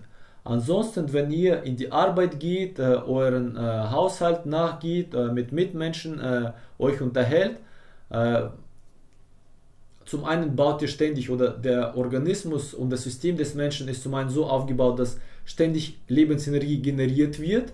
Auf der anderen Seite vergeudet und verschwendet ihr ständig diese Lebensenergie. In so einem Retreat generiert ihr die Energie weiter oder euer Organismus generiert die Lebensenergie, aber ihr äh, schließt, wie es in diesem Bild äh, hier deutlich äh, gezeigt ist, in einem Retreat verschließt ihr alle Löcher durch fehlende Kommunikation, durch fehlende Reize von außen, stopft ihr alle Löcher in eurem Energiegefäß und die Energie könnt ihr dann ansammeln. Und diese Energie ist wie dann der volle Tank beim Auto. Mit einem leeren Tank kann ich mit einem Auto nirgendwo hinfahren. Wenn der Tank voll ist, kann ich hier eine weitere Reise unternehmen. Das hat den Sinn, dass man zuerst diese Energie aufbauen muss. Das kann 3, 4, 5, 6, 7 Tage lang sein. Und bei euch wird es dann so sein, durch die regressive Hypnose könnte man noch zweifeln. Sind es meine Fantasien gewesen? Vielleicht war es nur Einbildung. Äh, da habt ihr keine guten, äh, wie soll ich sagen, äh, ja, Marker oder äh, Nachweise, dass das tatsächlich euer eigenes früheres Leben ist. Durch die eigene Meditation in einem Retreat wird sich der Körper folgendermaßen melden. Äh, der Körper fängt an äh, zu zucken, also es ist so, als ob Strom durch euren Körper fährt. Äh, es kann sein, dass es euch zu frösteln anfängt, dass der Körper anfängt zu vibrieren oder zu zittern. Und diese Erlebnisse und Bilder, die ihr dann sehen werdet, werden so einschlägig sein, dass ihr das niemals mit irgendeinem Fantasiegedanken äh, verwechseln werden könnt. Also das, das ist schon sehr, sehr intensiv, äh, solche Erlebnisse und äh, sehr nachhaltig auch. Also es kann sein, dass auch Tränen kommen, dass die Seele, die wirkt auf solche Bilder sehr emotional. Und wenn die Seele sehr emotional wirkt, wird das euer Körper auch sehr, sehr deutlich spüren. Also bei normalen Fantasien bleibt ihr auch ruhig, da kommen noch keine Tränen, der Körper zittert nicht, ihr kriegt dann kein Frösteln. Wenn ihr dann schafft, durch die Meditation in ein früheres Leben zu sehen, äh, spürt man das deutlich, wie die Energie auf einige Minuten deutlich abfällt und ihr seid ausgelaugt und ausgeschöpft nach so einem Erlebnis. Und dann versteht ihr, warum es den Grund hat, diese Energie im Vorfeld anzusammeln. Äh, durch äh, frühere Leben oder durch den Einblick in die früheren Leben äh, könnt ihr dann äh, bestimmte Fragen, äh, Antworten, nicht Fragen, sondern die Fragen habt ihr euch vorher gestellt. Ihr könnt bestimmte Antworten bekommen. Äh, ihr könnt sehen, dass ihr mit bestimmten Menschen, mit denen ihr im früheren Leben schon kommuniziert habt oder zu tun gehabt habt, ihr auch in diesem Leben trifft. Und das wird für euch ein deutlicher Beweis sein, dass eure Seele Leben für Leben reinkarniert und dass äh, ihr ja nicht sterben könnt. Es ist nur dieser Körper, der sich verändert und irgendwann nicht mehr da ist. Aber ihr habt durch solche Meditationen und Rückführungen ihr fühlt euch sicherer dann schon in eurem Leben. Und ihr könnt euch dann sicherer sein, dass ihr einen neuen Körper bekommt und diesem neuen Körper wieder äh, neue, äh, sozusagen neue Eigenschaften dann ansammelt oder weitere Erfahrungen sammelt. Das wäre äh, äh, richtiger zu sehen. Weil durch das äh, Prinzip und Gesetz des Karma, wenn ihr angenommen anderen viel Schaden in diesem Leben zugefügt habt, braucht ihr eine bestimmte Zeit auch, indem ihr diesen Schaden auch abarbeiten könnt. Also ist es auch die Voraussetzung, äh, dass man wiedergeboren wird, um sein eigenes Karma in dieser Welt mit denselben Leuten vielleicht abzuarbeiten, mit den Leuten, denen man dieses negative Karma geschafft hat. Äh, das ist natürlich so, dass das Karma nicht auf jeden Menschen gleich wirkt. Abhängig äh, von der Energie, wo sie sich bei dem einen oder anderen Menschen befindet oder die, den Zustand der Energie, die äh, bei manchen Menschen die eine ist äh, oder der eine Zustand, bei anderen Menschen ist es ein äh, ganz anderer Zustand. Also abhängig davon wird das Karma zu euch schneller oder langsamer zurückkehren. wenn ihr schon auf höheren Chakren mit der Außenwelt interagiert und bestimmte Tendenzen und Motivationen auf den unteren Chakren abgelegt habt, heißt es, eure Seele hat schon eine bestimmte Reife erreicht und durch diese bestimmte Reife schafft ihr auch bestimmte negative Karmen schon äh, abgearbeitet. Heißt es, das Karma kommt zu euch viel schneller zurück. Eine junge Seele, die noch auf jeden Rechen steigt, die jetzt äh, sich noch alle möglichen Beulen vom Leben holt, arbeitet und funktioniert noch über die unteren Chakren, also kommuniziert mit der Außenwelt. Äh, und so eine Seele sammelt sich äh, üblicherweise sehr, sehr äh, viel Karma ab, hat einen sehr großen Ballast hinter sich herzuschleppen, einen sehr großen Rucksack mit dem Karma, was sie noch abzuarbeiten hat. Und solche Menschen sind es eben dann, die über das Schicksal schimpfen und sagen, äh, ja, ich habe halt jetzt immer Pech und verstehen nicht, äh, was ich vorher sagte, dass dieses Pech von ihnen selber geschaffen worden ist. Äh, bei manchen kommt es dann, also es gibt so sehr, sehr verzögertes Karma, was zurückkommt, vielleicht zwei, drei, vier Leben. Es gibt das Karma, was in diesem Leben äh, noch zurückkommen kann, aber vielleicht nach einem Jahr, drei Jahren, vier Jahren, wenn wir schon nicht mehr wissen, dass wir äh, etwas äh, nicht äh, gut äh, geschafft haben für uns oder auch gut geschafft haben für uns und das Karma kommt zu uns zurück und wir sehen jetzt irgendwie als ein Zufall und Glück an, aber im Grunde genommen haben wir uns selber dieses Glück geschaffen.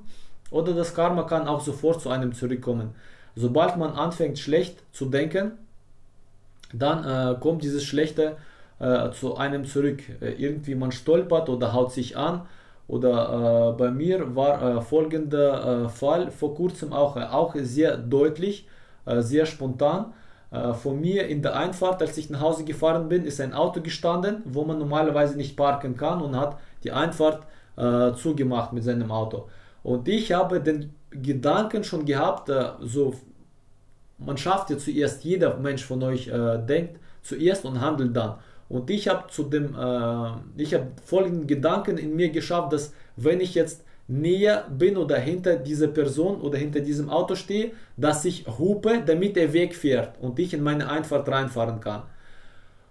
Und als ich diesen Gedanken zu Ende gedacht habe, ich war vielleicht 400, 500 äh, Meter entfernt noch und habe aus der Ferne gesehen, wo ich gedacht habe, diesen Menschen anzuhupen, hupt hinter mir einer.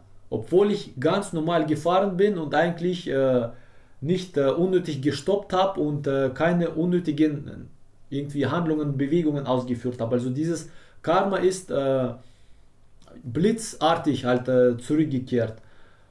Der Mensch äh, versteht aber das oft nicht, weil wir verlernt haben und die Gesellschaftsstruktur und das Essen und die Information, die wir durch das Fernsehen und durch die Musik bekommen, ist leider so aufgebaut, dass unser Gedächtnis so gesplittet ist. Ungefähr so wie diese Linie. Und wir können den Bezug, wenn wir jetzt, äh, sagen wir, das sind die Tage,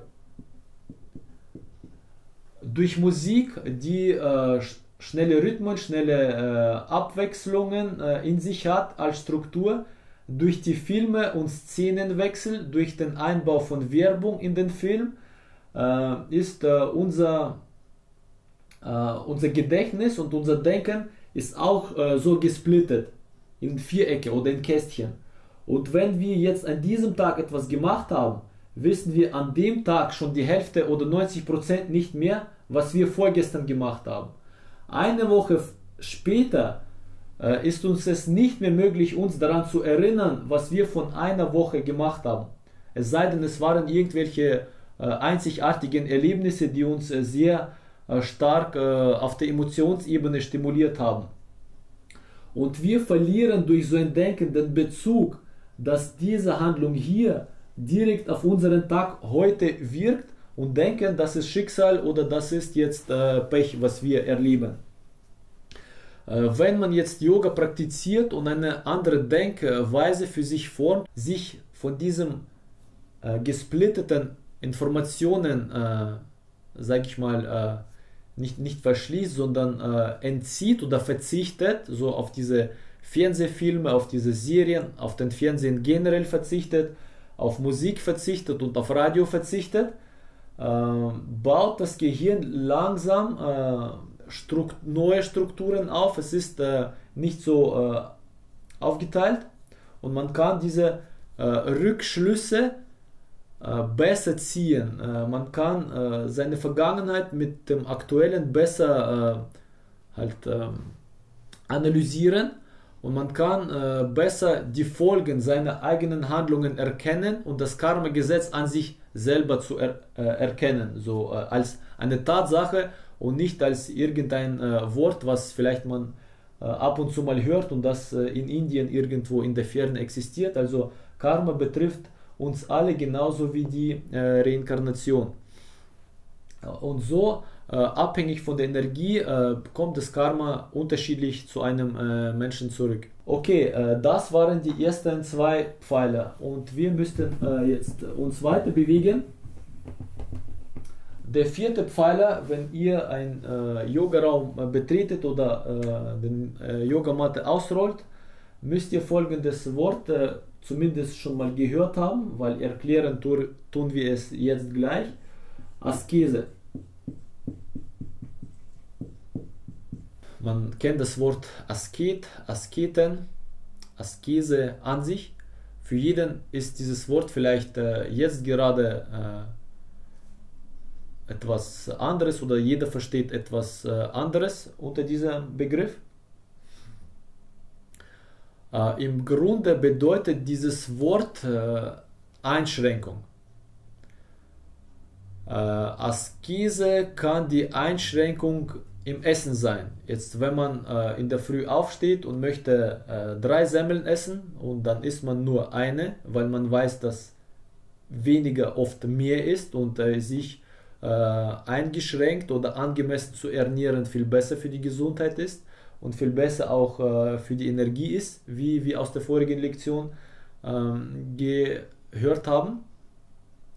Eine Askese kann auch sein, äh, indem man sich bestimmten äh, Genüssen und äh, Begierden einschränkt, dass man äh, sagt, äh, ja, es ist vielleicht toll, in einer abendlichen Runde mit einem Glas äh, Wein zu sitzen und sich mit Leuten äh, zu unterhalten.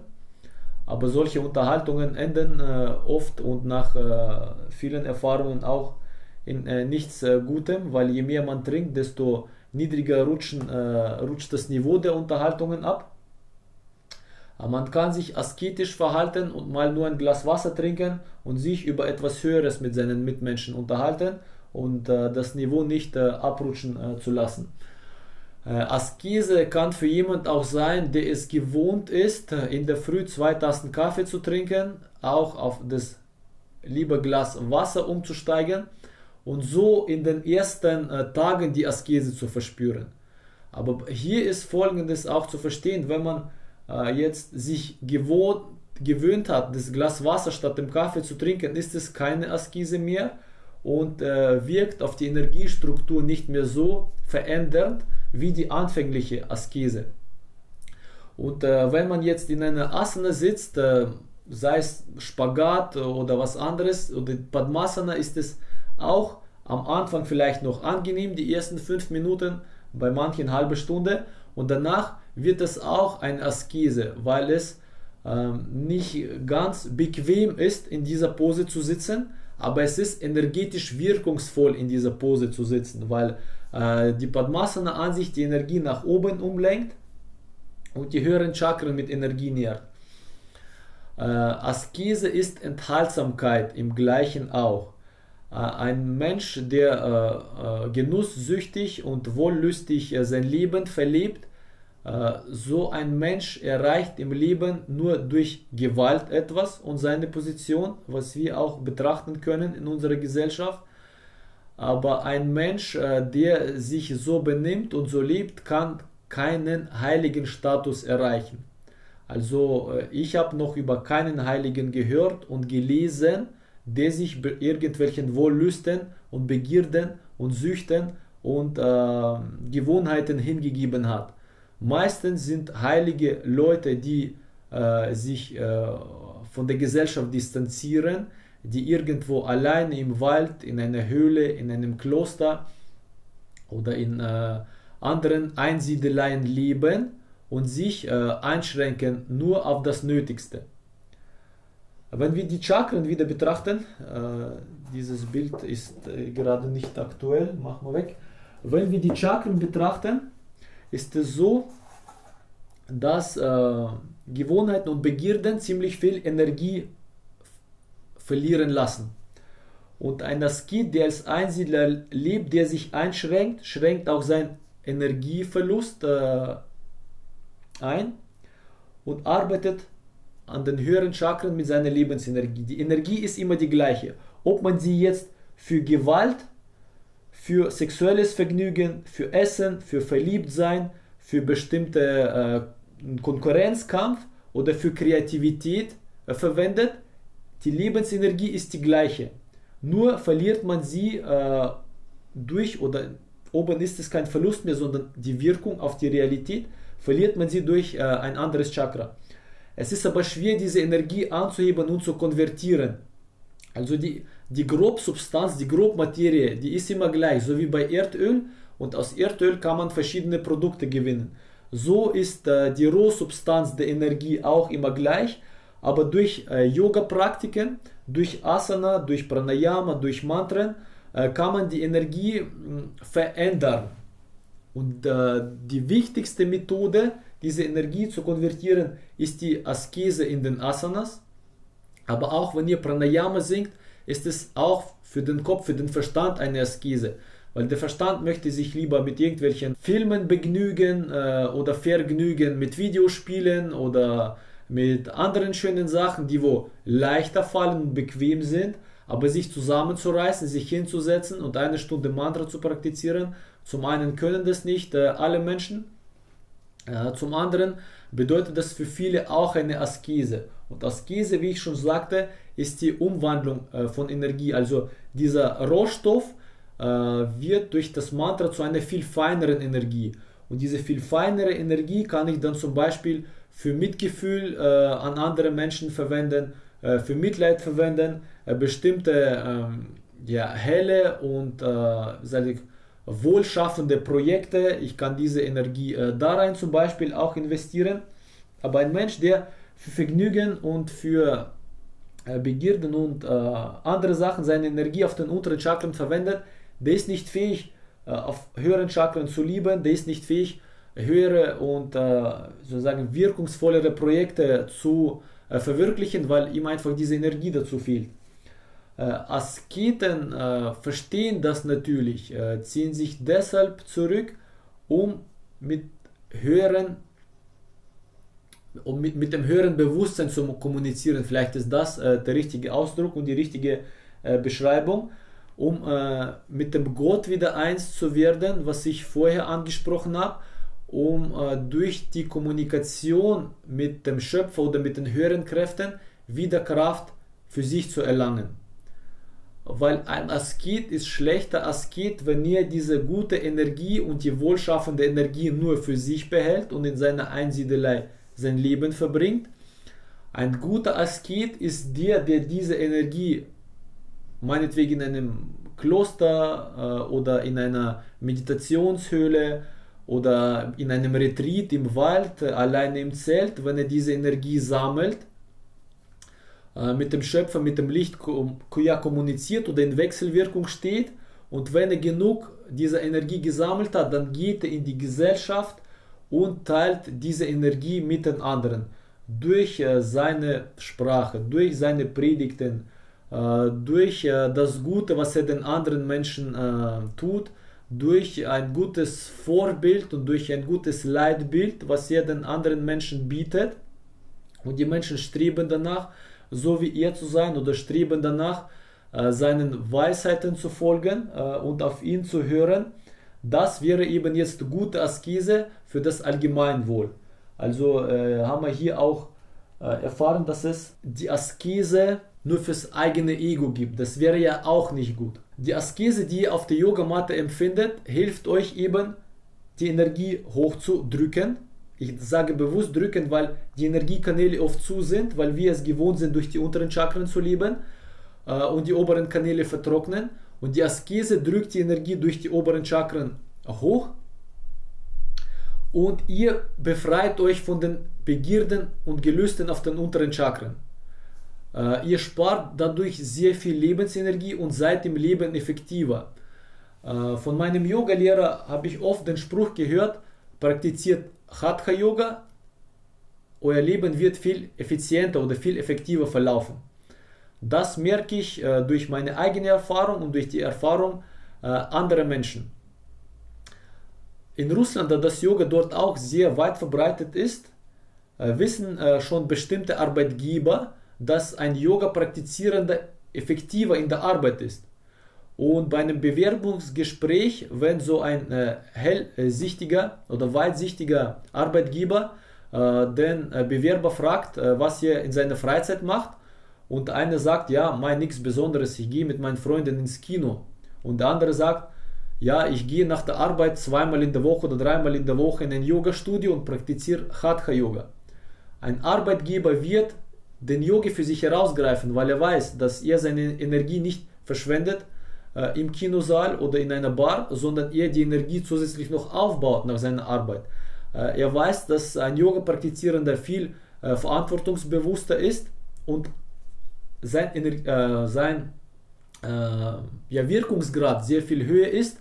Äh, es heißt, dass er auf seine 8 Stunden Arbeit sehr viel mehr Arbeit umsetzen kann, als ein Bar- und Diskothekengänger in seinen 8 Stunden schafft.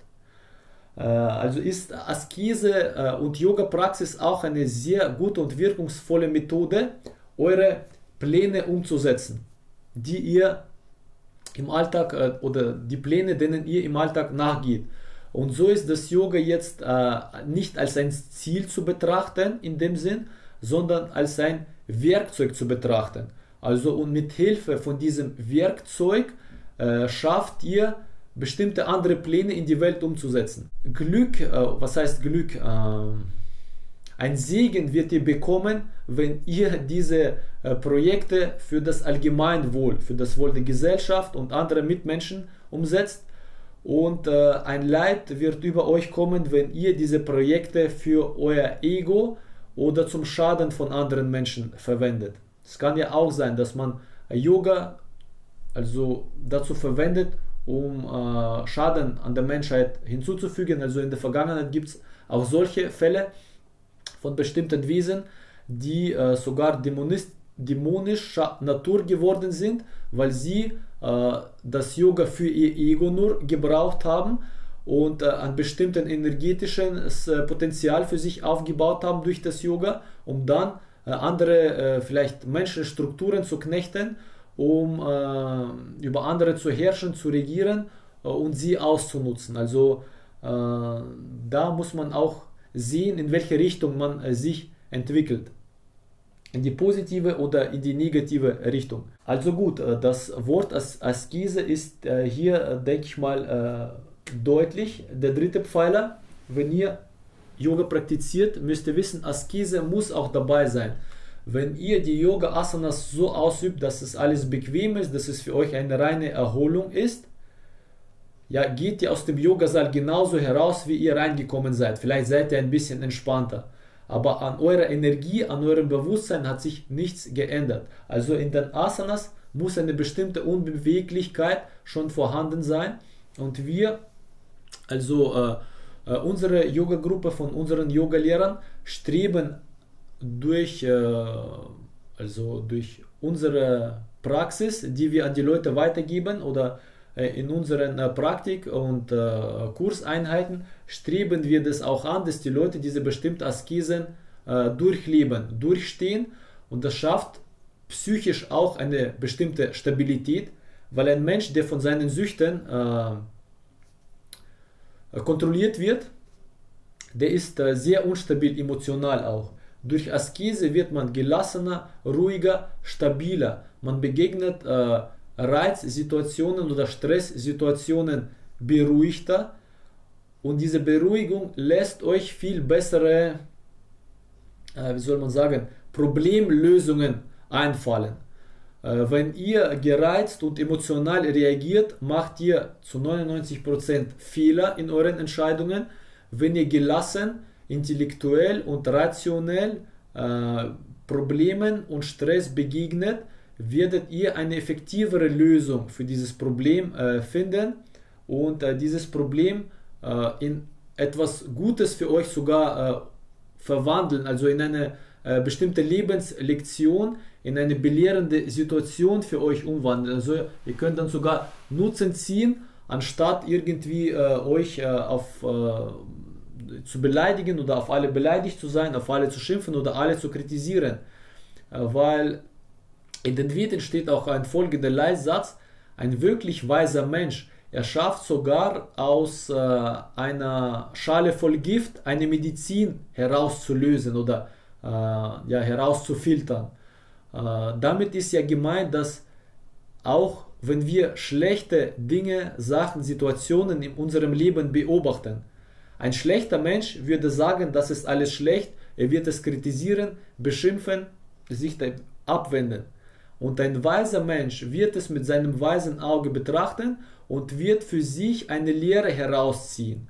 Weil die Situationen sind nicht dazu aufgebaut, um uns irgendwie, äh, um uns zu unterdrücken oder um uns Schlimmes zu tun. Äh, die Situationen äh, sind äh, so aufgebaut, dass wir daraus etwas lernen könnten oder sollten. Also betrachtet diese Situationen und die Welt, die Realität um euch herum als etwas Belehrendes und äh, zieht wirklich Nutzen daraus. Es passiert ja alles nur für euch und zu eurem Guten. Wir durch unsere, äh, äh wie heißt es, vernebelte und äh, verunreinigte Sichtweise äh, sehen die Welt als etwas Unvollkommenes und als etwas Schlechtes. Aber das liegt nur an unserer Betrachtungsweise. Äh, in den äh, buddhistischen Schriften wird folgendes Beispiel aufgeführt. Wessen Schuld ist es, dass ein Blinder die Sonne und den Mond nicht sehen kann? Und dann kommen die Weisen zu dem Entschluss, das ist ein Fehler in der Betrachtung des Blinden, dass er den Sonne und die Sonne und den Mond nicht sehen kann. Aber auf keinen Fall ist es ein Fehler in der, in der Sonne selber oder im Mond. Es liegt nur an der Betrachtungsweise. Und genau so betrachten wir diese Welt oftmals als äh, ja, schlecht oder unvollkommen, obwohl sie tatsächlich vollkommen nicht sein kann. Und alles läuft so, dass es zum Schluss auch zu unserem Guten rauskommt. Wie schlimm und schlecht es auch jetzt für uns äh, ausschaut. Okay, äh, der vierte Pfeiler, damit wir heute zumindest mit den vier Pfeilern fertig äh, sind, äh, ist die ist Tapas. Nicht die, sondern der Tapas.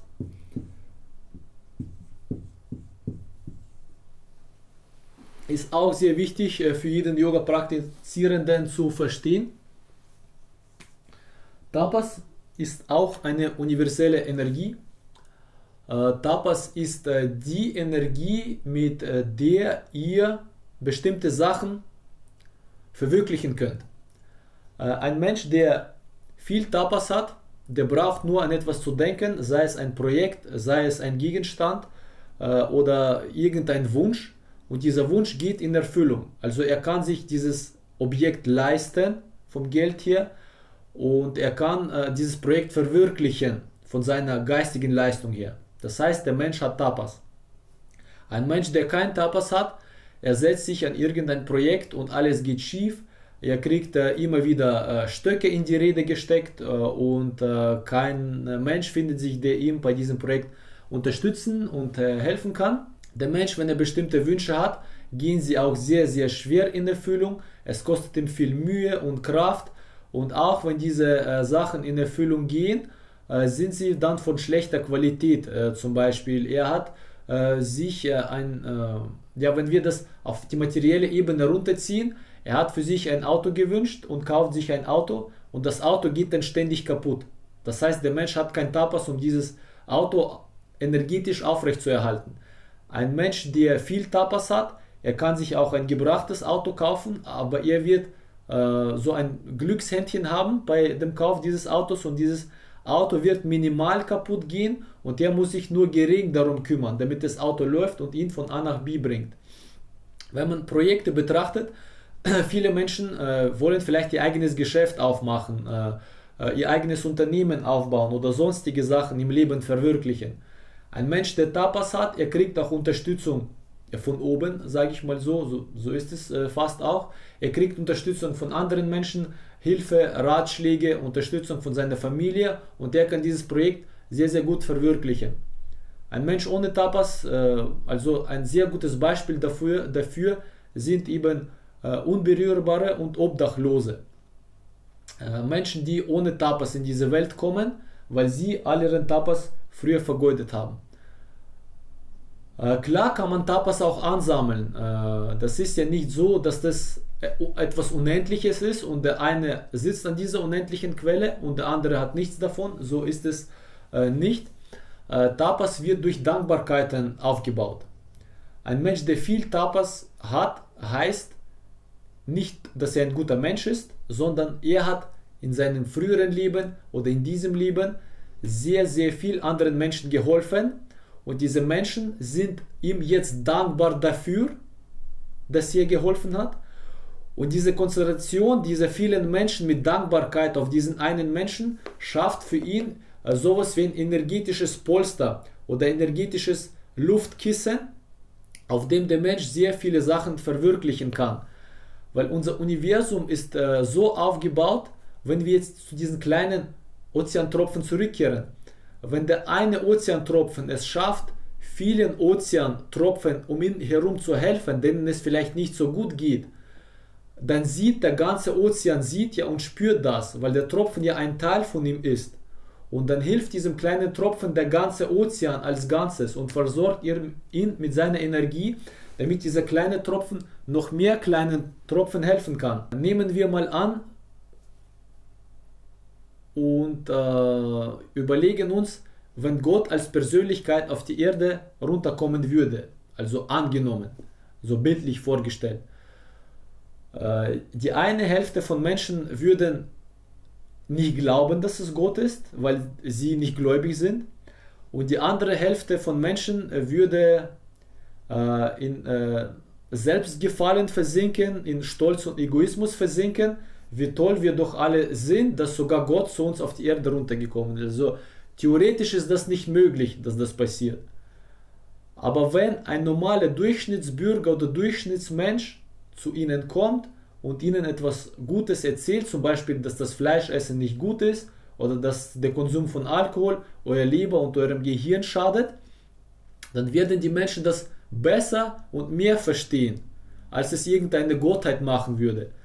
Und so wirkt, wirken eben die Energien oder die göttlichen Energien durch bestimmte Menschen und äh, helfen durch einen Menschen, also der Mensch ist wie ein Kanal oder Leiter von dieser Energie und äh, helfen dadurch vielen anderen Menschen um diesen einen Menschen herum. Weil Götter oder Gottheiten sollte man nicht als äh, Personen zu betrachten, sie werden nur äh, personifiziert, äh, weil es für den Menschen besser ist zu verstehen oder leicht ist zu verstehen. Deshalb malt man bestimmte äh, Abbildungen und malt die Götter als Menschen, aber im Grunde sind es oft auch amorphe Energien von einer bestimmten, äh, sage ich mal, Eigenschaft, von einem bestimmten Potenzial, die äh, entweder helfend, aufbauend sein können, andere können auch zerstörerisch äh, und irgendwie ähm, äh, ablenkend äh, sein können oder zu irgendwelchen niedrigen äh, Tendenzen verleiten sein. Äh, zum Tapas zurückgekehrt. Also sammelt der Mensch, indem er Dankbarkeiten ansammelt, Tapas und diesen Tapas kann er durch Askese konvertieren. Also das ist auch sehr, sehr wichtig zu verstehen. Dankbarkeiten sind noch nicht der Tapas an sich. Dankbarkeiten ist eine bestimmte Energie, ist auch wiederum äh, mit dem äh, Rohstoff wie mit dem Erdöl zu vergleichen. Und man kann diese Energie der Dankbarkeit, zum Beispiel der Mensch äh, wünscht sich äh, sehr viele Leckereien. Wenn er diese Dankbarkeiten angesammelt hat, bekommt er diese vielen Leckereien, aber seine Energie ist sehr schnell ausgeflossen. Äh, diese Leckereien kommen auch nicht von ungefähr. Es gibt im äh, Buddhismus so eine Person, die Mara heißt äh, in der christlichen Tradition heißt es äh, Teufel, äh, diese Person. Das ist eine Person oder Gottheit, die einen Menschen zu etwas verleitet, zu irgendwelchen Sachen, die den Menschen vielleicht nicht gut tun. Dieser Verführer, genau, diese verführende Person oder Gottheit ist eben Mara oder der Teufel. Und er spürt auch Menschen, wenn sie Energie haben und kommt mit bestimmten äh, Vorschlägen äh, zu jemandem. Äh, komm, wir gehen mal in die Bar und trinken mal eine schöne Flasche Bier oder wir gehen mal äh, in äh, eine Bäckerei und kaufen uns äh, eine riesengroße Torte und essen sie dann zusammen auf. Die Torte kann vielleicht gut schmecken, aber der Mensch hat seine Lebensenergie dafür verloren und hat seine Energie der Dankbarkeiten in einer Art und Weise auch dafür verloren. Wenn wir durch Askese diese Energie in Tapas konvertieren, heißt es, die Energie fließt auf höheren Chakren und äh, dann können wir bestimmte Projekte, äh, was ich schon äh, vorher angesprochen habe, äh, umsetzen. Dann können wir äh, Mitleid, Liebe empfinden, wir können äh, spüren, wie es dem anderen Menschen geht, wir können viel effektiver anderen Menschen auch helfen durch unseren Tapas. Und durch den Tapas, den wir so altruistisch einsetzen und verwenden, können wir dann noch mehr Dankbarkeiten äh, auf uns ziehen und unser Potenzial wächst äh, weiter und weiter. Wenn wir egoistisch bleiben und leben, de degradiert der Mensch und die Seele eigentlich und äh, dieser vermeintliche Wassertropfen entwickelt sich nicht weiter. Der Sinn aber ist der, dass wir äh, als Gesellschaft und, und als Menschen uns wie in einem Organismus entwickeln. Ein Egoist ist wie eine Körperzelle, die vom Körper sich ernährt und mit dem Körper oder im Körper lebt und sagt, ich bin jetzt was ganz Besonderes. Ich äh, brauche euch alle nicht mehr, auch wenn ihr alle umkommt, ist mir das egal, Hauptsache mir alleine geht es gut. Und solche Körperzellen mutieren dann zu Krebszellen, also unsere schrecklichste Krankheit in der Gesellschaft. Man würde sagen, es ist der Krebs. Der Krebs ist aber die Folge vom Egoismus. Und Egoismus ist in unserer Gesellschaft die wirklich äh, schlimmste und die, schrecklichste, und die schrecklichste Krankheit, äh, die dann zu solchen physischen Auswirkungen äh, führt. Ähm, ein egoistischer Mensch, der sich von allen abgrenzt, äh, dem wird es auch nie gut gehen, der wird niemals wahres Glück empfinden, egal wie viel Yachten, Konten, äh, Geld und alles Mögliche er haben wird.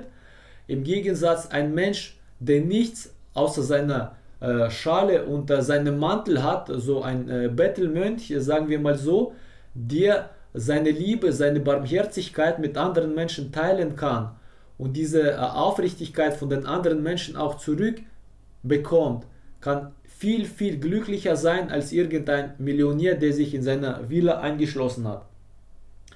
Und äh, für die Menschlichkeit, für den Menschen ist es sehr wichtig, äh, das auch zu praktizieren. Das ist nämlich auch Yoga. Ein richtiges Umgehen mit anderen Menschen und eben diese Verbindung, die wir schaffen mit äh, anderen Menschen, mit unseren Verwandten, mit unseren Nächsten, mit den Leuten, äh, denen wir äh, in diesem Leben äh, begegnen. Diese vier Pfeile sind wichtig zu verinnerlichen und gehören zum wahren und zum richtigen Yoga dazu. Ich gehe die Sache noch einmal kurz durch, über die wir gesprochen haben. wenn wir Yoga praktizieren, heißt es, wir haben das Karma, Yoga zu praktizieren. Wir müssen das Karma auch für uns schaffen. Also versucht auch äh, Yoga weiterzugeben. Also nicht nur für euch zu praktizieren, sondern Freunde, wenn ihr noch kein Yoga-Lehrer seid, Freunde einzuladen, die mit euch praktizieren, äh, Videos, äh, Bücher mit euren Freunden zu teilen, äh, dass sie auch äh, Yoga äh, kennenlernen. So schafft ihr für euch das Karma, dass in Zukunft ihr auch Yoga praktizieren werden könnt. Reinkarnation ist in dem Fall wichtig zu verstehen, dass ihr wenn ihr von diesem Leben scheidet, ihr könnt nur drei Sachen mitnehmen. Das ist eure Weisheit, die ihr während des Lebens gesammelt habt. Äh, es ist euer Karma und es ist eure Yoga-Praxis. Aber mit Yoga-Praxis ist nicht äh, die Yoga-Praxis zu verstehen, äh, die ihr auf der Matte macht oder wie toll ihr die Asanas ausführen könnt. Mit Yoga-Praxis, die ihr mitnehmt, ist zu verstehen eure Selbstvervollkommnung euer äh, seelisches oder euer geistiges Potenzial, was ihr im Yoga aufgebaut habt, also in dem wahren Yoga, in dem äh, geistigen Yoga, sage ich mal so. Diese Erfahrung könnt ihr mitnehmen. Äh, Askese ist äh, in dem Fall wichtig für einen Yoga-Praktizierenden, äh, weil ihr nur durch Askese eure Energien konvertieren könnt. Durch Askese könnt ihr eure Lebensenergie sparen ihr könnt diese Energie äh, effektiver für euch, für eure Mitmenschen verwenden. Und äh, Tapas ist eben Energie, äh, mit der ihr ins Leben bestimmte Sachen, Situationen rufen könnt, äh, bestimmte Gegenstände rufen könnt. Äh, für euch zu verstehen, wenn bei mir im Leben nichts klappt und ich kann nicht Yoga praktizieren, ich komme im Yoga nicht weiter, äh, mein äh, Unternehmen und Geschäft läuft überhaupt nicht, müsst ihr verstehen, ihr habt kein Tapas, ihr müsst äh, Dankbarkeiten ansammeln. Ihr müsst etwas für andere Menschen tun, dann wird auch euch gegeben und wird auch äh, euch geholfen. Äh, wenn alles äh, klappt und alles gut läuft, heißt es, ihr habt einiges an Tapas-Potenzial, ihr müsst es aber weiterhin ansammeln, weil Tapas kann auch mal zu Ende gehen wie bei den Göttern es auch ist. Also im Buddhismus wird es äh, so äh, beschrieben, es ist auch äh, also tatsächlich so, nicht nur im Buddhismus, dass bestimmte Wesen sich ein großes Potenzial an Tapas schaffen und äh, dieses Potenzial schafft sie in einer bestimmten Welt äh, äh, wieder wiederzufinden. Also sie werden in höhere Welten reinkarniert, wo Wesen mit sehr viel Tapas leben. Und dort in den äh, Halbgötterwelten, also oder in dem Valhalla, wie man das in der skandinavischen Tradition bezeichnet, gibt es ständig äh, Feiern, gibt es äh, schöne Frauen, es geht allen gut und es ist so ein äh, unendliches Fest. Aber dieses unendliche Fest ist früher oder später mal zu Ende, weil man ganz, man, äh, weil man seinen ganzen Tapas dort äh, verbrannt hat oder ver, ver, verlebt hat und man muss in die unteren Welten reinkarnieren. Und von dort wieder äh, von vorne beginnen. Deshalb beweinen die Halbgötter ihresgleichen, wenn sie sehen, bei einem ist der Tapas gleich zu Ende und schon nach einiger kurzer Zeit muss er reinkarnieren. Äh, Tapas ist für euch äh, auch als eine kleine Hilfe, eure Unterstützung und euer Luftkissen, das verhindert, dass zu stark oder zu arg schlimme Situationen in euer Leben äh, kommen. Äh, die Energie der Dankbarkeit zum Schluss ist aber nicht die Energie, wenn jetzt ein Kind ein Kilo Eis möchte und ich kaufe dem Kind dieses Eis und dann ist mir dieses Kind dankbar, dass ich ihm das Eis äh, geschenkt habe, eher weniger, dass hier die Energie der Dankbarkeit bekommt.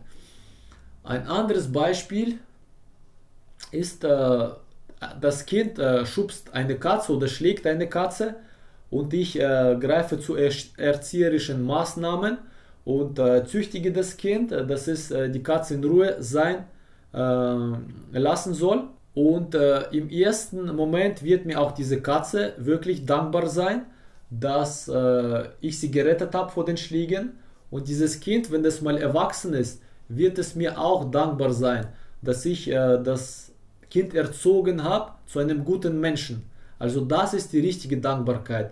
Die Hilfe dem Mensch geistig, ethisch und sittlich voranzukommen. Den Menschen helfen sich äh, zu entwickeln und äh, die eigene Seele zu entwickeln, weil darauf kommt es wirklich an in unserem Leben. Und daran äh, möchte ich euch äh, alle motivieren, an sich äh, selber zum Positiven zu arbeiten. Oh